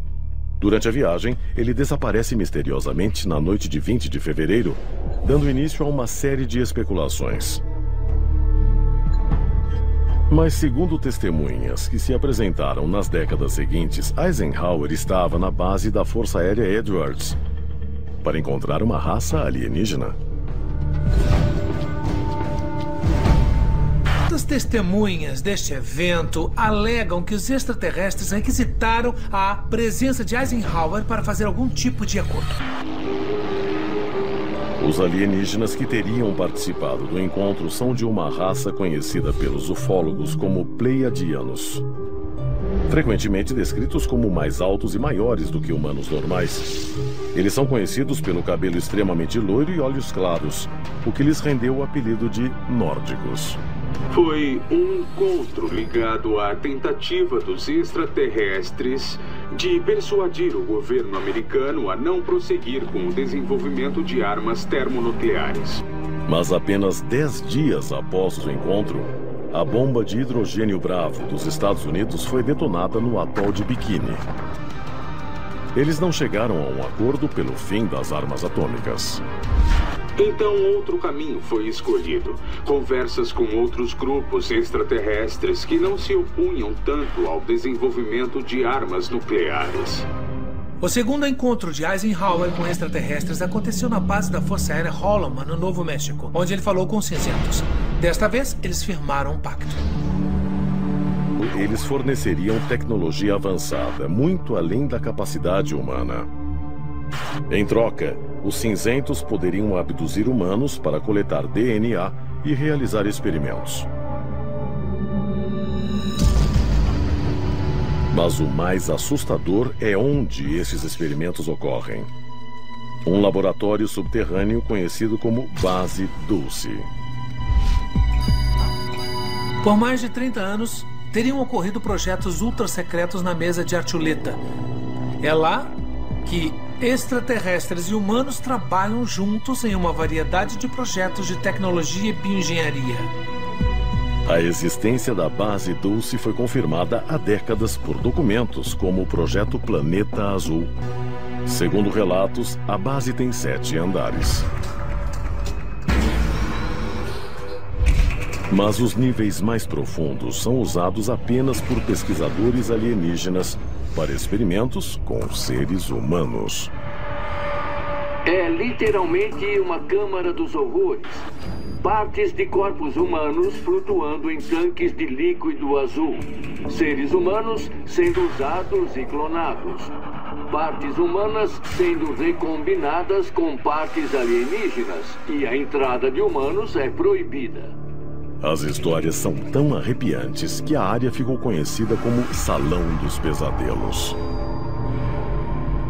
Mas, embora esta base possa ser um dos lugares mais assustadores habitados por alienígenas no planeta Terra, a evidência mostra que pode haver uma ameaça alienígena ainda maior, assumindo a forma de seres humanos. Os arturianos são considerados por muitos a civilização mais avançada da galáxia.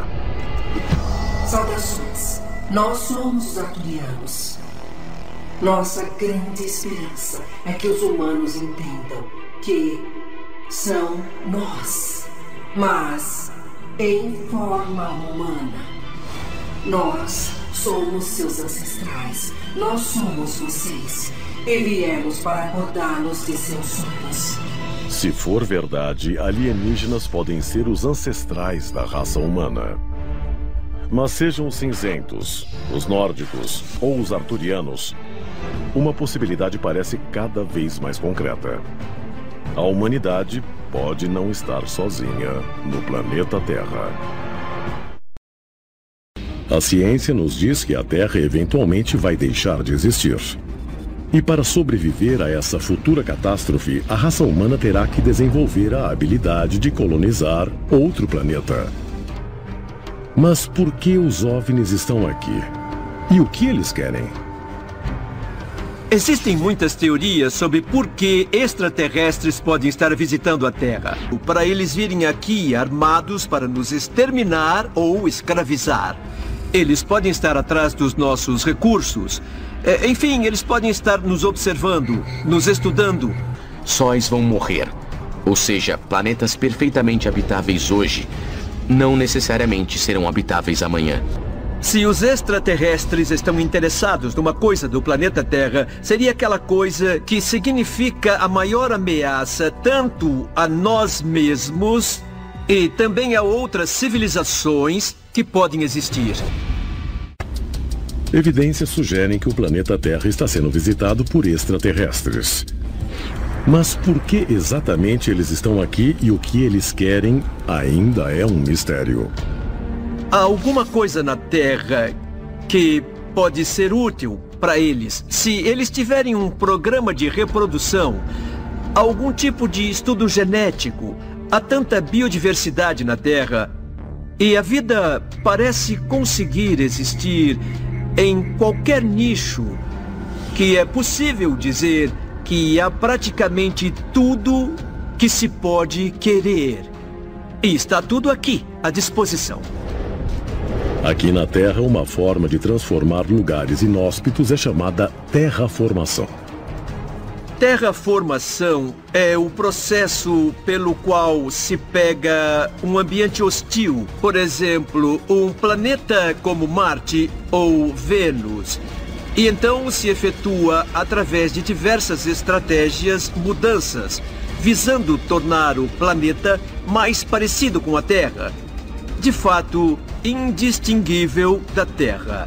Então, se uma civilização alienígena quer terraformar a Terra, acho que podemos afirmar que eles devem precisar de outro planeta para viver. Então, essa verdade vale para outros planetas do universo, que talvez sejamos quase perfeitos para eles, porque eles se desenvolveram num planeta mais quente ou num planeta mais frio. Então, eles precisam diminuir a temperatura ou aumentar, digamos assim. Mas eles podem vir e transformar esse planeta segundo suas necessidades. Por muitos anos, OVNIs e encontros imediatos têm sido relatados por todo o mundo em áreas urbanas altamente povoadas. Em áreas costeiras, em zonas rurais e até em desertos. Existem muitas teorias sobre o porquê de eles estarem aqui. Eu acho que para responder essa pergunta é preciso entender o que a raça humana quer das estrelas.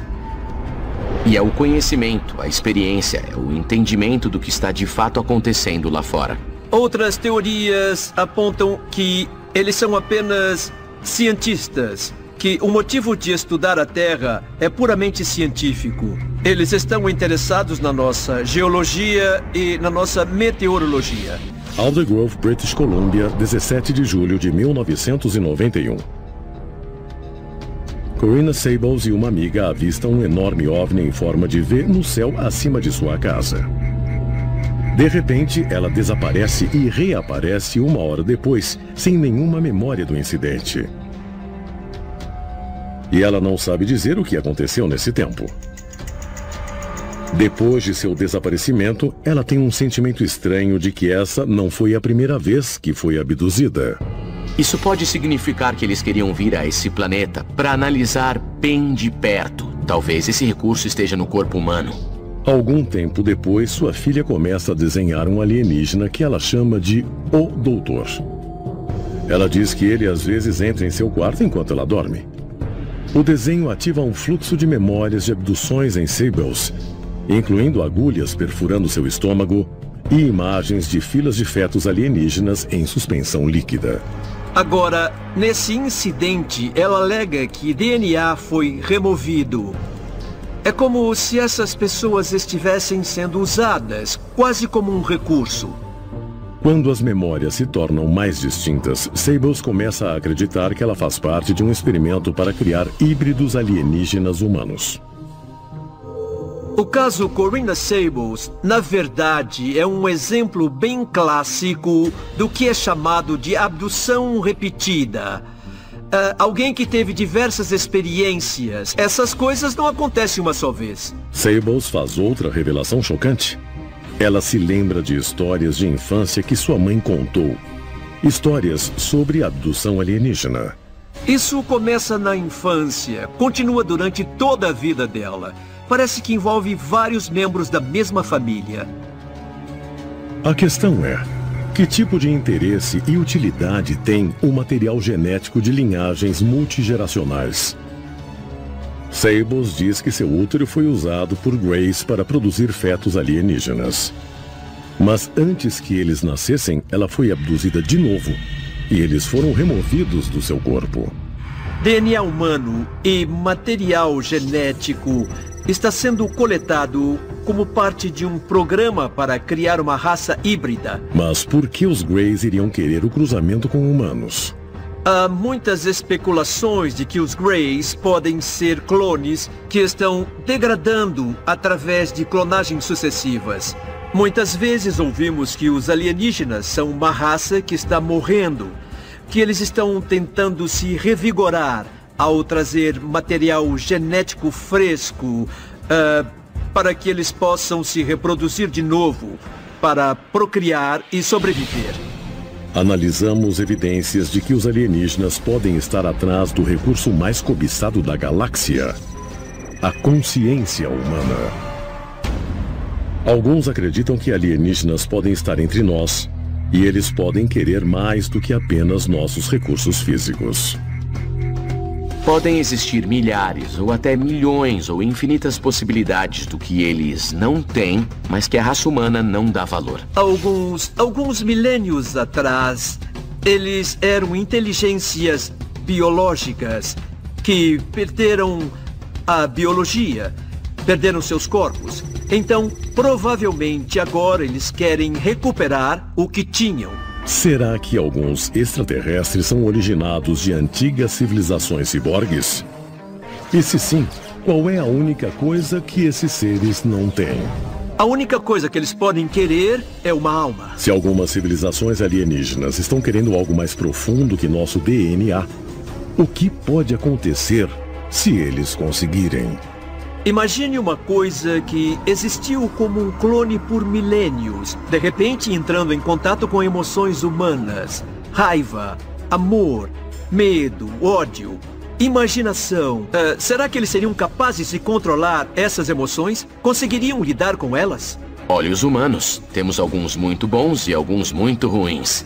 No momento em que uma máquina puder pensar sozinha e de repente milhares de anos de pensamentos humanos forem arquivados em 72 horas por uma máquina, nós vamos ver que estamos flertando com o desastre. Se você é capaz de construir uma espaçonave e vir à Terra, fazer um vulcão entrar em erupção ou mudar a trajetória de um furacão, provavelmente deve ser bem fácil.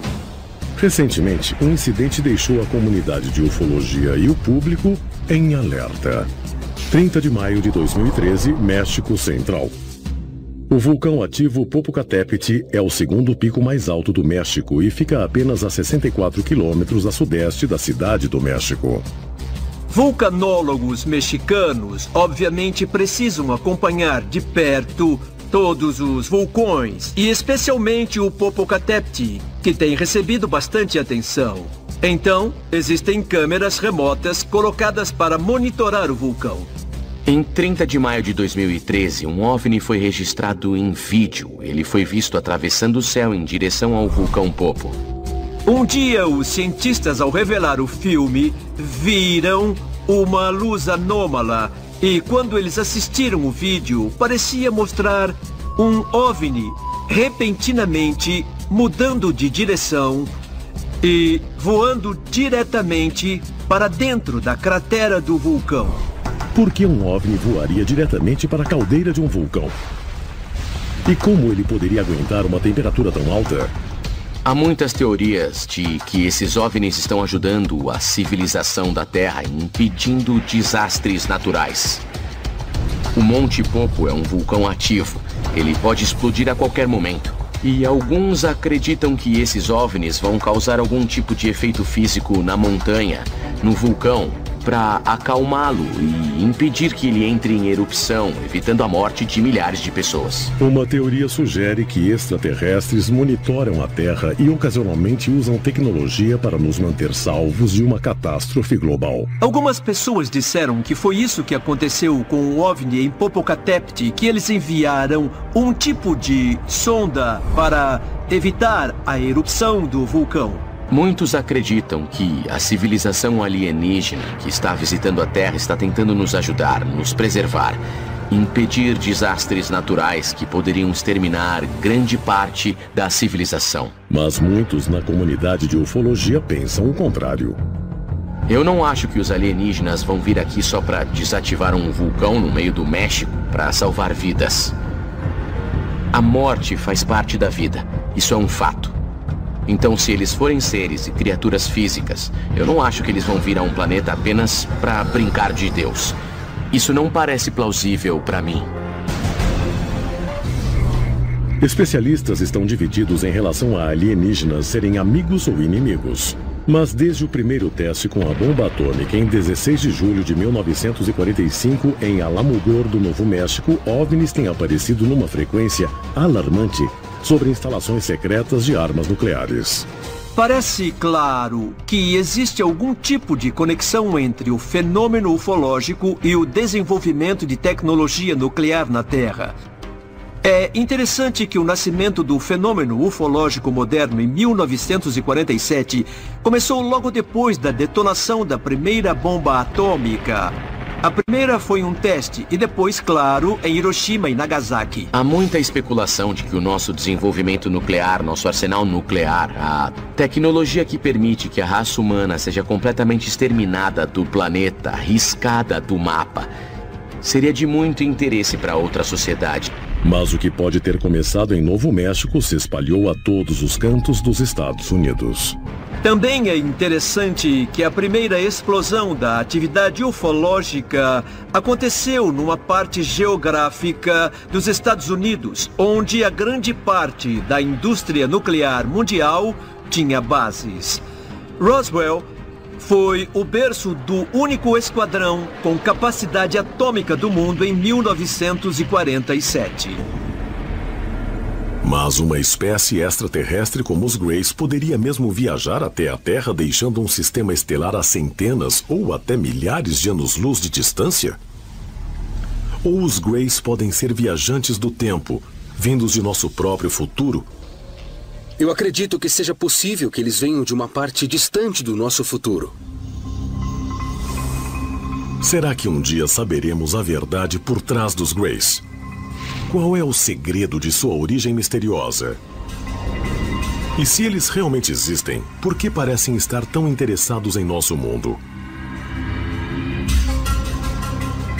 Eles estariam aqui para nos estudar? Para se comunicar conosco? ou vieram à Terra para nos alertar sobre o nosso futuro? Há um esforço global em andamento.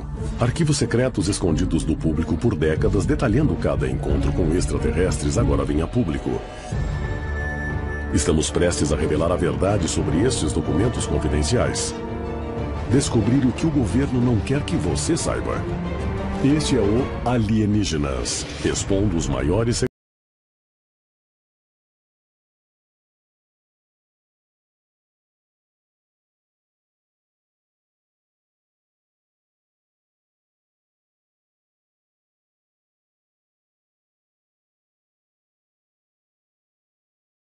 chegaram a quatro categorias principais de avistamentos. Avistamentos de OVNIs normalmente são classificados numa escala de proximidade do encontro.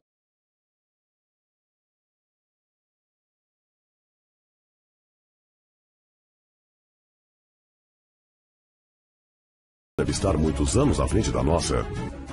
Mas, embora autoridades do governo se proponham a investigar, elas geralmente não revelam as suas descobertas ao público. Cidadãos comuns podem estar muito mais perto da verdade. De se preparar, planejar e treinar para isso. Bahia do Sol, Brasil, 18 de outubro de 1977. Claudomira Paixão é repentinamente acordada por uma luz.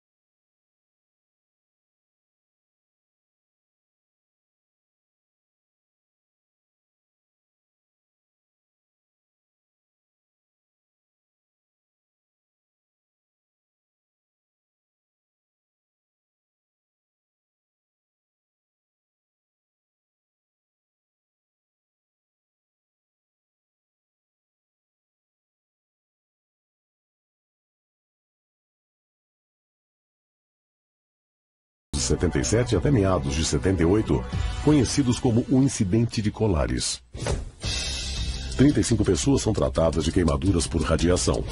Duas morrem menos de 24 horas depois de terem sido feridas. Os ataques causam um enorme pânico na região.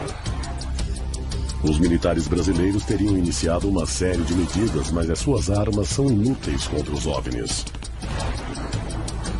Semanas depois, os OVNIs desaparecem. A onda brasileira é uma demonstração aterradora da dominação alienígena.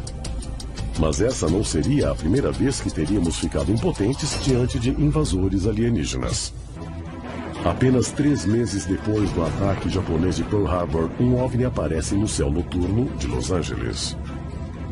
Os militares logo entraram em ação. Eles tentaram descobrir o que era aquele objeto e o iluminaram com holofotes. Eles não conseguiram descobrir e, no final, começaram a disparar contra o objeto.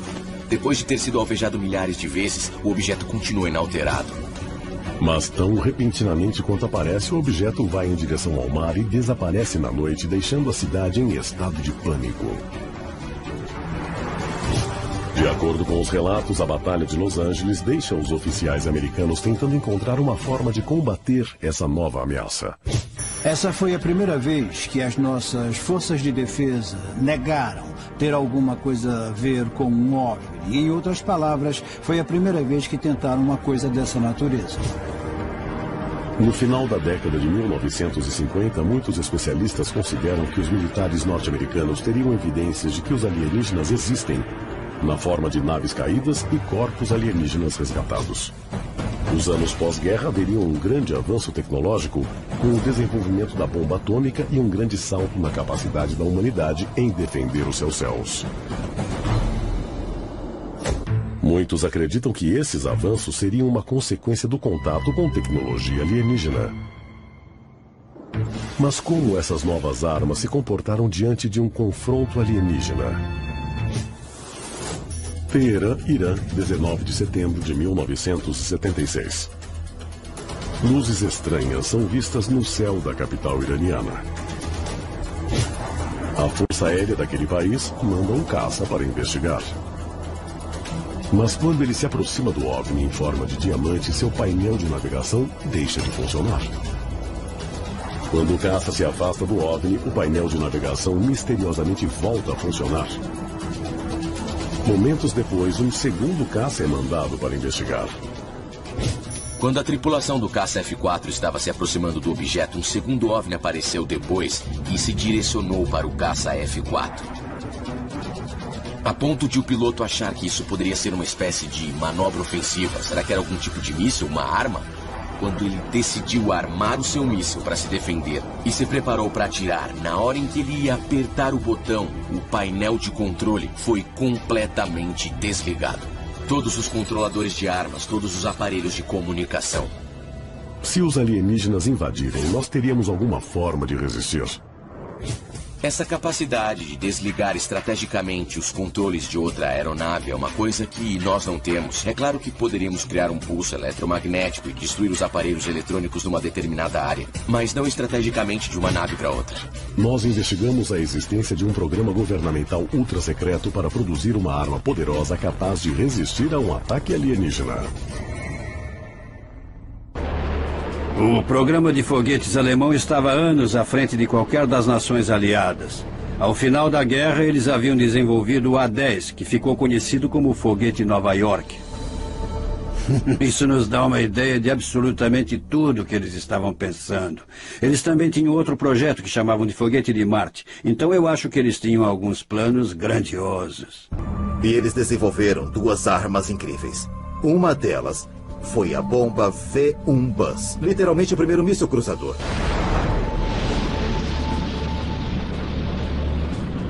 E a outra foi o V-2, o primeiro míssil balístico. Mesmo para seus inimigos, os cientistas alemães foram invejados pelo mundo. Mas qual era a fonte de suas conquistas incríveis? Eles foram simplesmente mais espertos do que seus pares de outros países? Será que eles recebiam mais verbas e recursos para suas pesquisas? Instruídos por outras, possivelmente, forças extraterrestres. Muitos especialistas acreditam que alienígenas hostis podem estar planejando um ataque massivo ao planeta Terra. E de acordo com vários relatos, suas naves podem ser resistentes às armas convencionais. Será que alguma coisa poderia ser feita para resistir a um ataque desses? Em seu livro de 1993, Sociedades Secretas e seu Poder no Século XX, o autor Jan van Helsing conta a história de um acidente estranho na Floresta Negra da Alemanha que ocorreu em 1936, três anos antes do início da Segunda Guerra Mundial. De acordo com Van Helsing, moradores que viviam perto da pequena cidade de Freiburg acordaram com o que parecia ser um enorme acidente de avião. Mas quando os investigadores examinaram o acidente, eles encontraram um estranho objeto em forma de disco. E dentro estavam os restos do que pareciam ser seres extraterrestres. Van Helsing também afirma que poucas horas depois do acidente, tropas tomaram posse da aeronave acidentada e seus tripulantes mortos. E levaram para sua sede ultra secreta no castelo Wewelsburg. Lá, acreditava-se, cientistas começaram a fazer engenharia reversa da tecnologia encontrada a bordo da nave danificada. Mas há alguma evidência de que essa nave extraterrestre existiu mesmo? E teria sido possível fazer a engenharia reversa? O que existe são os relatos de cientistas que afirmam ter lido relatórios de análises feitas na nave e do sistema de propulsão. Os desafios da engenharia reversa dependem um pouco da natureza da fonte de alimentação e de como ela funciona.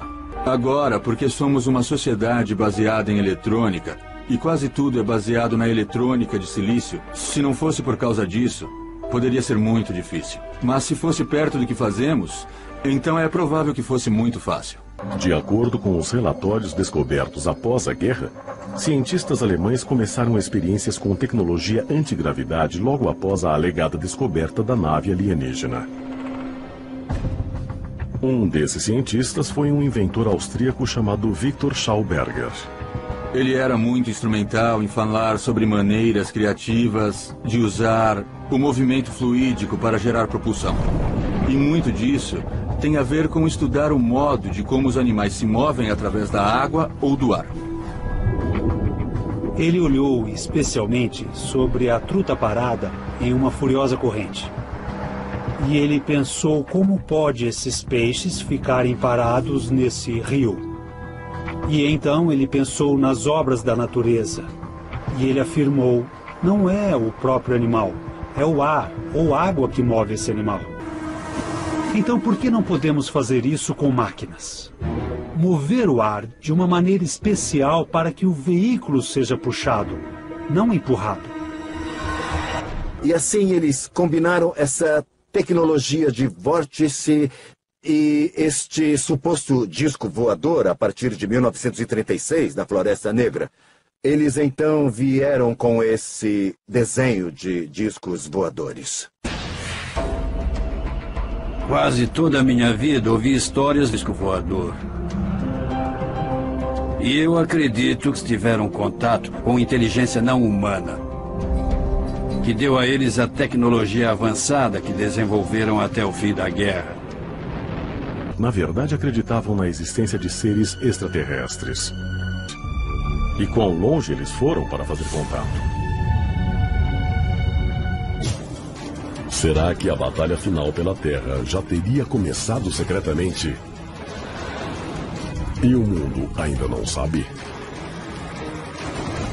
Será que já começou? E chegamos ao fim de mais um Alienígenas desvendando os maiores segredos do planeta Terra. Tacoma, Washington, 2002. Quando saía de um bar karaokê, Jason Padgett, de 31 anos, foi brutalmente espancado e assaltado por dois homens que o deixaram inconsciente. Quando ele finalmente acordou, os médicos disseram que ele teve sorte de ter escapado do incidente com apenas um rim lesionado e uma concussão cerebral. Mas nos dias seguintes, Jason começou a ver o mundo de uma maneira totalmente nova. Ele nunca teve muito interesse em números. Mas depois da surra, ele via equações matemáticas em todos os lugares para onde ele olhava. Ele achava isso lindo. Ele tinha desenvolvido uma coisa chamada sinestesia, que via o mundo dividido em imagens fractais. Então ele ficou muito interessado nesse fenômeno e começou a descobrir a matemática. Jason se tornou a única pessoa no mundo com a extraordinária capacidade de desenhar à mão formas fractais complexas. Os cientistas afirmam que o trauma cerebral que ele sofreu provavelmente refez aleatoriamente toda a ligação da rede neural de Jason, acentuando capacidades incríveis em algumas áreas. Embora inacreditável, a história de Jason Padgett não é totalmente única. Em Sioux Falls, Dakota do Sul, Derek Amaro bateu a cabeça na piscina e se transformou num pianista talentoso embora ele nunca tivesse tocado piano na vida.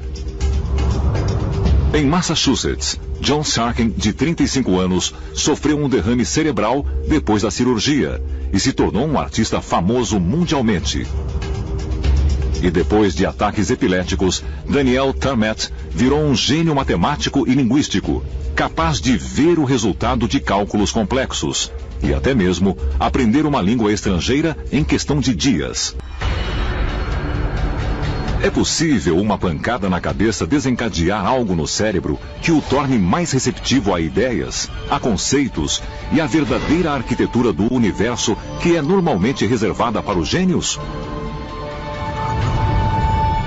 Se a resposta for afirmativa, isso pode nos dar algum discernimento sobre por que vários grandes pensadores de cada geração, nomes como Einstein, Shakespeare, Da Vinci, Confúcio e Platão, parecem ser os responsáveis por tantas ideias visionárias que formaram o tecido da nossa sociedade há milhares de anos?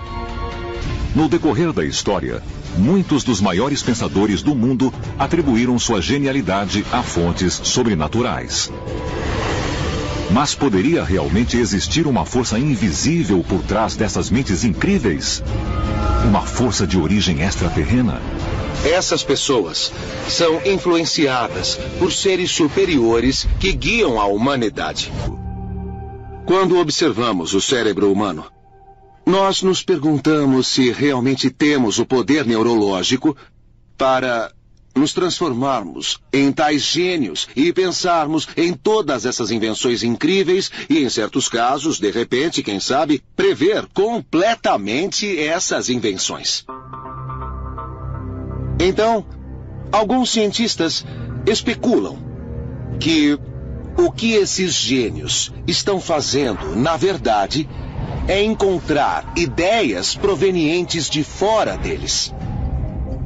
Será que os gênios têm é, acesso a outro nível de consciência, no qual algumas ideias são enviadas para eles? Ou será que eles têm a capacidade de absorver essas ideias durante os sonhos? Essas são as grandes perguntas da humanidade, do universo. É possível que haja algo muito mais importante ocorrendo com a consciência do que com o cérebro físico? É uma interessante possibilidade que revela verdades mais profundas sobre a natureza do que significa ser humano. E se de fato existe algum esforço organizado maior sendo realizado para guiar o conhecimento humano em direção a um resultado desejado. É possível que o gênio não seja só resultado exclusivo do cérebro, mas também de alguma força exterior ao corpo? A evidência para isso possa ser encontrada ao examinar os primeiros gênios do mundo e o que eles alegam que seja a verdadeira fonte de suas inspirações. Museu do Louvre, Paris, França. Este museu histórico abriga o texto jurídico talvez mais significante do mundo antigo. Este monólito retrata o deus babilônico Shamash, conversando com o rei Hammurabi. E abaixo dele, entalhadas em escrita cuneiforme, estão as leis que eles deram a seu povo. Chama-se o Código de Hammurabi. Sem dúvida, Hammurabi era um dos grandes gênios do mundo antigo. E é claro, ele é famoso, não só por ter sido o soberano da antiga Babilônia, mas também por ter feito o que é conhecido como Código de Hammurabi, que é o primeiro registro escrito de leis. É um documento primitivo comparado com o que temos agora, mas descreve um sistema completo de regras, a arrecadação de impostos, vários princípios civis e o famosíssimo olho por olho que foi modificado no decorrer dos anos, mas o rei projetou um sistema. O Código de Hammurabi começa com um prefácio, no qual o rei se exalta pelos seus grandes feitos. Mas ele também escreveu que o próprio código foi ditado para ele pelo deus babilônico Shamash. O grande rei Hammurabi entrou em transe e Deus começou a ditar este incrível documento através do próprio rei Hammurabi, que falava em uma voz e em uma língua muito diferente da sua. Era tudo provavelmente de Deus. E quando Hammurabi saiu do seu transe, os escribas leram o texto para ele, mas ele não se lembrava de ter ditado. Veio tudo de Deus e é brilhante. O importante é que Hammurabi não reivindicou a autoria. Ele sabia que aquilo não era fruto dele nem de sua inteligência. O sistema de lei que advém do Código de Hammurabi é tão intrínseco à compreensão moral básica de como administrar uma sociedade que grande parte dele foi preservada de alguma forma em nosso sistema jurídico moderno. Isso sugere que o Código de Hammurabi teve um ponto de origem muito avançado. A história por trás do Código de Hammurabi não é única. No mundo antigo, com frequência, dizia-se que momentos de genialidade, incluindo crenças religiosas e princípios científicos básicos, desde a Grécia e Roma até a Índia e China, foram inspirados por vozes divinas. Pense nisso. Moisés, Abraão, Noé, os profetas, Jesus, grande parte das leis, regras, costumes e tradições que temos é baseada em indivíduos que alegam ter ouvido algo de uma deidade. E isso não é só na tradição judaico-cristã. Eu afirmo que em todas as culturas existem muitas leis provenientes essencialmente de pessoas que alegam ter ouvido algo de um ser que não é deste mundo. Significa que estamos procurando a chave para conseguir abrir esse mundo da criatividade que habita dentro de todos os seres vivos. É possível, ao alcançar esse estado alterado de consciência, entrarmos em contato com seres ou com entidades que são de mundos diferentes? Eu acho que isso é possível. É possível que as forças de inspiração que os antigos atribuíam aos deuses fossem realmente provenientes de uma fonte extraterrena? No mundo antigo, acreditava-se que as pessoas eram influenciadas de fora para dentro. Para terem pensamentos especiais, para terem inspiração especial e ideias como as de um gênio. Isso vinha de fora de você. Então nós temos que perguntar: se essas ideias não são possivelmente algum tipo de pensamento que foi projetado na nossa mente, provavelmente por extraterrestres. Talvez por trás disso tudo esteja a crença de que as pessoas foram diretamente influenciadas por seres extraterrestres que deram a essas pessoas uma inspiração imensa ou conhecimento profundo que elas conseguiram partilhar com os outros. É possível que os gênios do mundo antigo e até mesmo os gênios de hoje recebam inspiração de uma força de outro mundo? Esse aumento curioso no QI pode ser uma evidência de que a humanidade está sendo vagarosamente guiada em direção a uma nova inteligência coletiva? Será que nós todos estamos gradualmente tendo um acesso maior ao conhecimento do universo? Se a resposta for afirmativa, no fim, nós poderemos ser capazes de unir o conhecimento coletivo da humanidade com a grande mente galáctica. E nessa época, descobrir que os extraterrestres nos guiaram o tempo todo. Durante os últimos 100 anos, nós temos feito avanços, é, progressos e conquistas com, sabe, as melhorias no campo da tecnologia. E eu acho que o motivo pelo qual os encontros e relatos de OVNIs aumentaram é porque qualquer sociedade extraterrena precisa tomar conhecimento se outra sociedade alcançar certo nível de tecnologia. Você pode se perguntar aonde isso tudo está levando a gente. E a resposta parece ser que estamos indo em direção ao nível da mente dos deuses, que vamos pensar mais como deuses e ter capacidades tremendas similares às dos deuses, como resultado da exploração da consciência cósmica. Esses extraterrestres podem muito bem estar nos dando as ferramentas que precisamos para garantir que esta evolução prossiga nos conformes e para nos guiar por essa massa quântica da evolução humana. A ideia básica é que os extraterrestres colonizaram o planeta Terra há milhares de anos. E nós não estamos falando de 10 ou 15 mil anos atrás, mas sim de centenas de milhares de anos atrás. É possível que uma civilização avançada tenha realmente existido na Terra durante a pré-história da humanidade? E os relatos dos antigos sumérios detalham um tempo antes da criação do homem, quando os deuses eram os únicos ocupantes do planeta. Histórias de um tempo quando seres extraterrenos ocuparam o planeta podem ser encontradas ao analisar nada menos que o Velho Testamento da Bíblia. Vários textos antigos que descrevem seres que habitavam a Terra antes da época de Adão e Eva. Esses seres são normalmente chamados de pré-adâmicos. Existe uma longa e antiga história do que hoje chamamos de homens pré-adâmicos. A vida das pessoas se estendia por milhares de anos. Eles supostamente alcançavam níveis de tecnologia até mesmo para viajar para as estrelas. Mas, de alguma forma, alguma coisa deu errado nessa civilização. A civilização pré-adâmica acabou. Mas alguns foram para as estrelas. E Deus ordenou que eles vigiassem e observassem.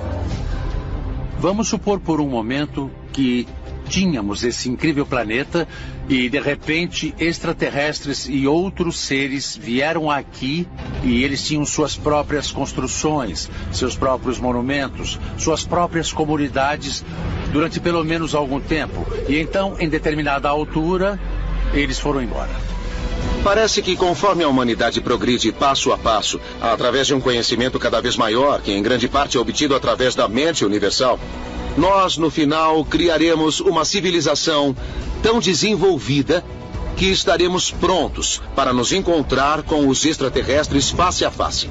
E interagir com eles de igual para igual. E eu acredito que é isso que eles querem. O que inspira os gênios a terem picos de criatividade? Os antigos estavam certos em pensar que algo fora do cérebro é responsável pela genialidade? A raiz de toda a sabedoria pode ser encontrada no registro acástico, que é uma mente universal, a que temos acesso por intermédio de seres extraterrestres. É possível que só possamos descobrir a verdade quando os gênios do mundo impulsionarem a humanidade para a verdadeira sapiência. E talvez só então nós estejamos prontos para nos reencontrar com nossos ancestrais alienígenas.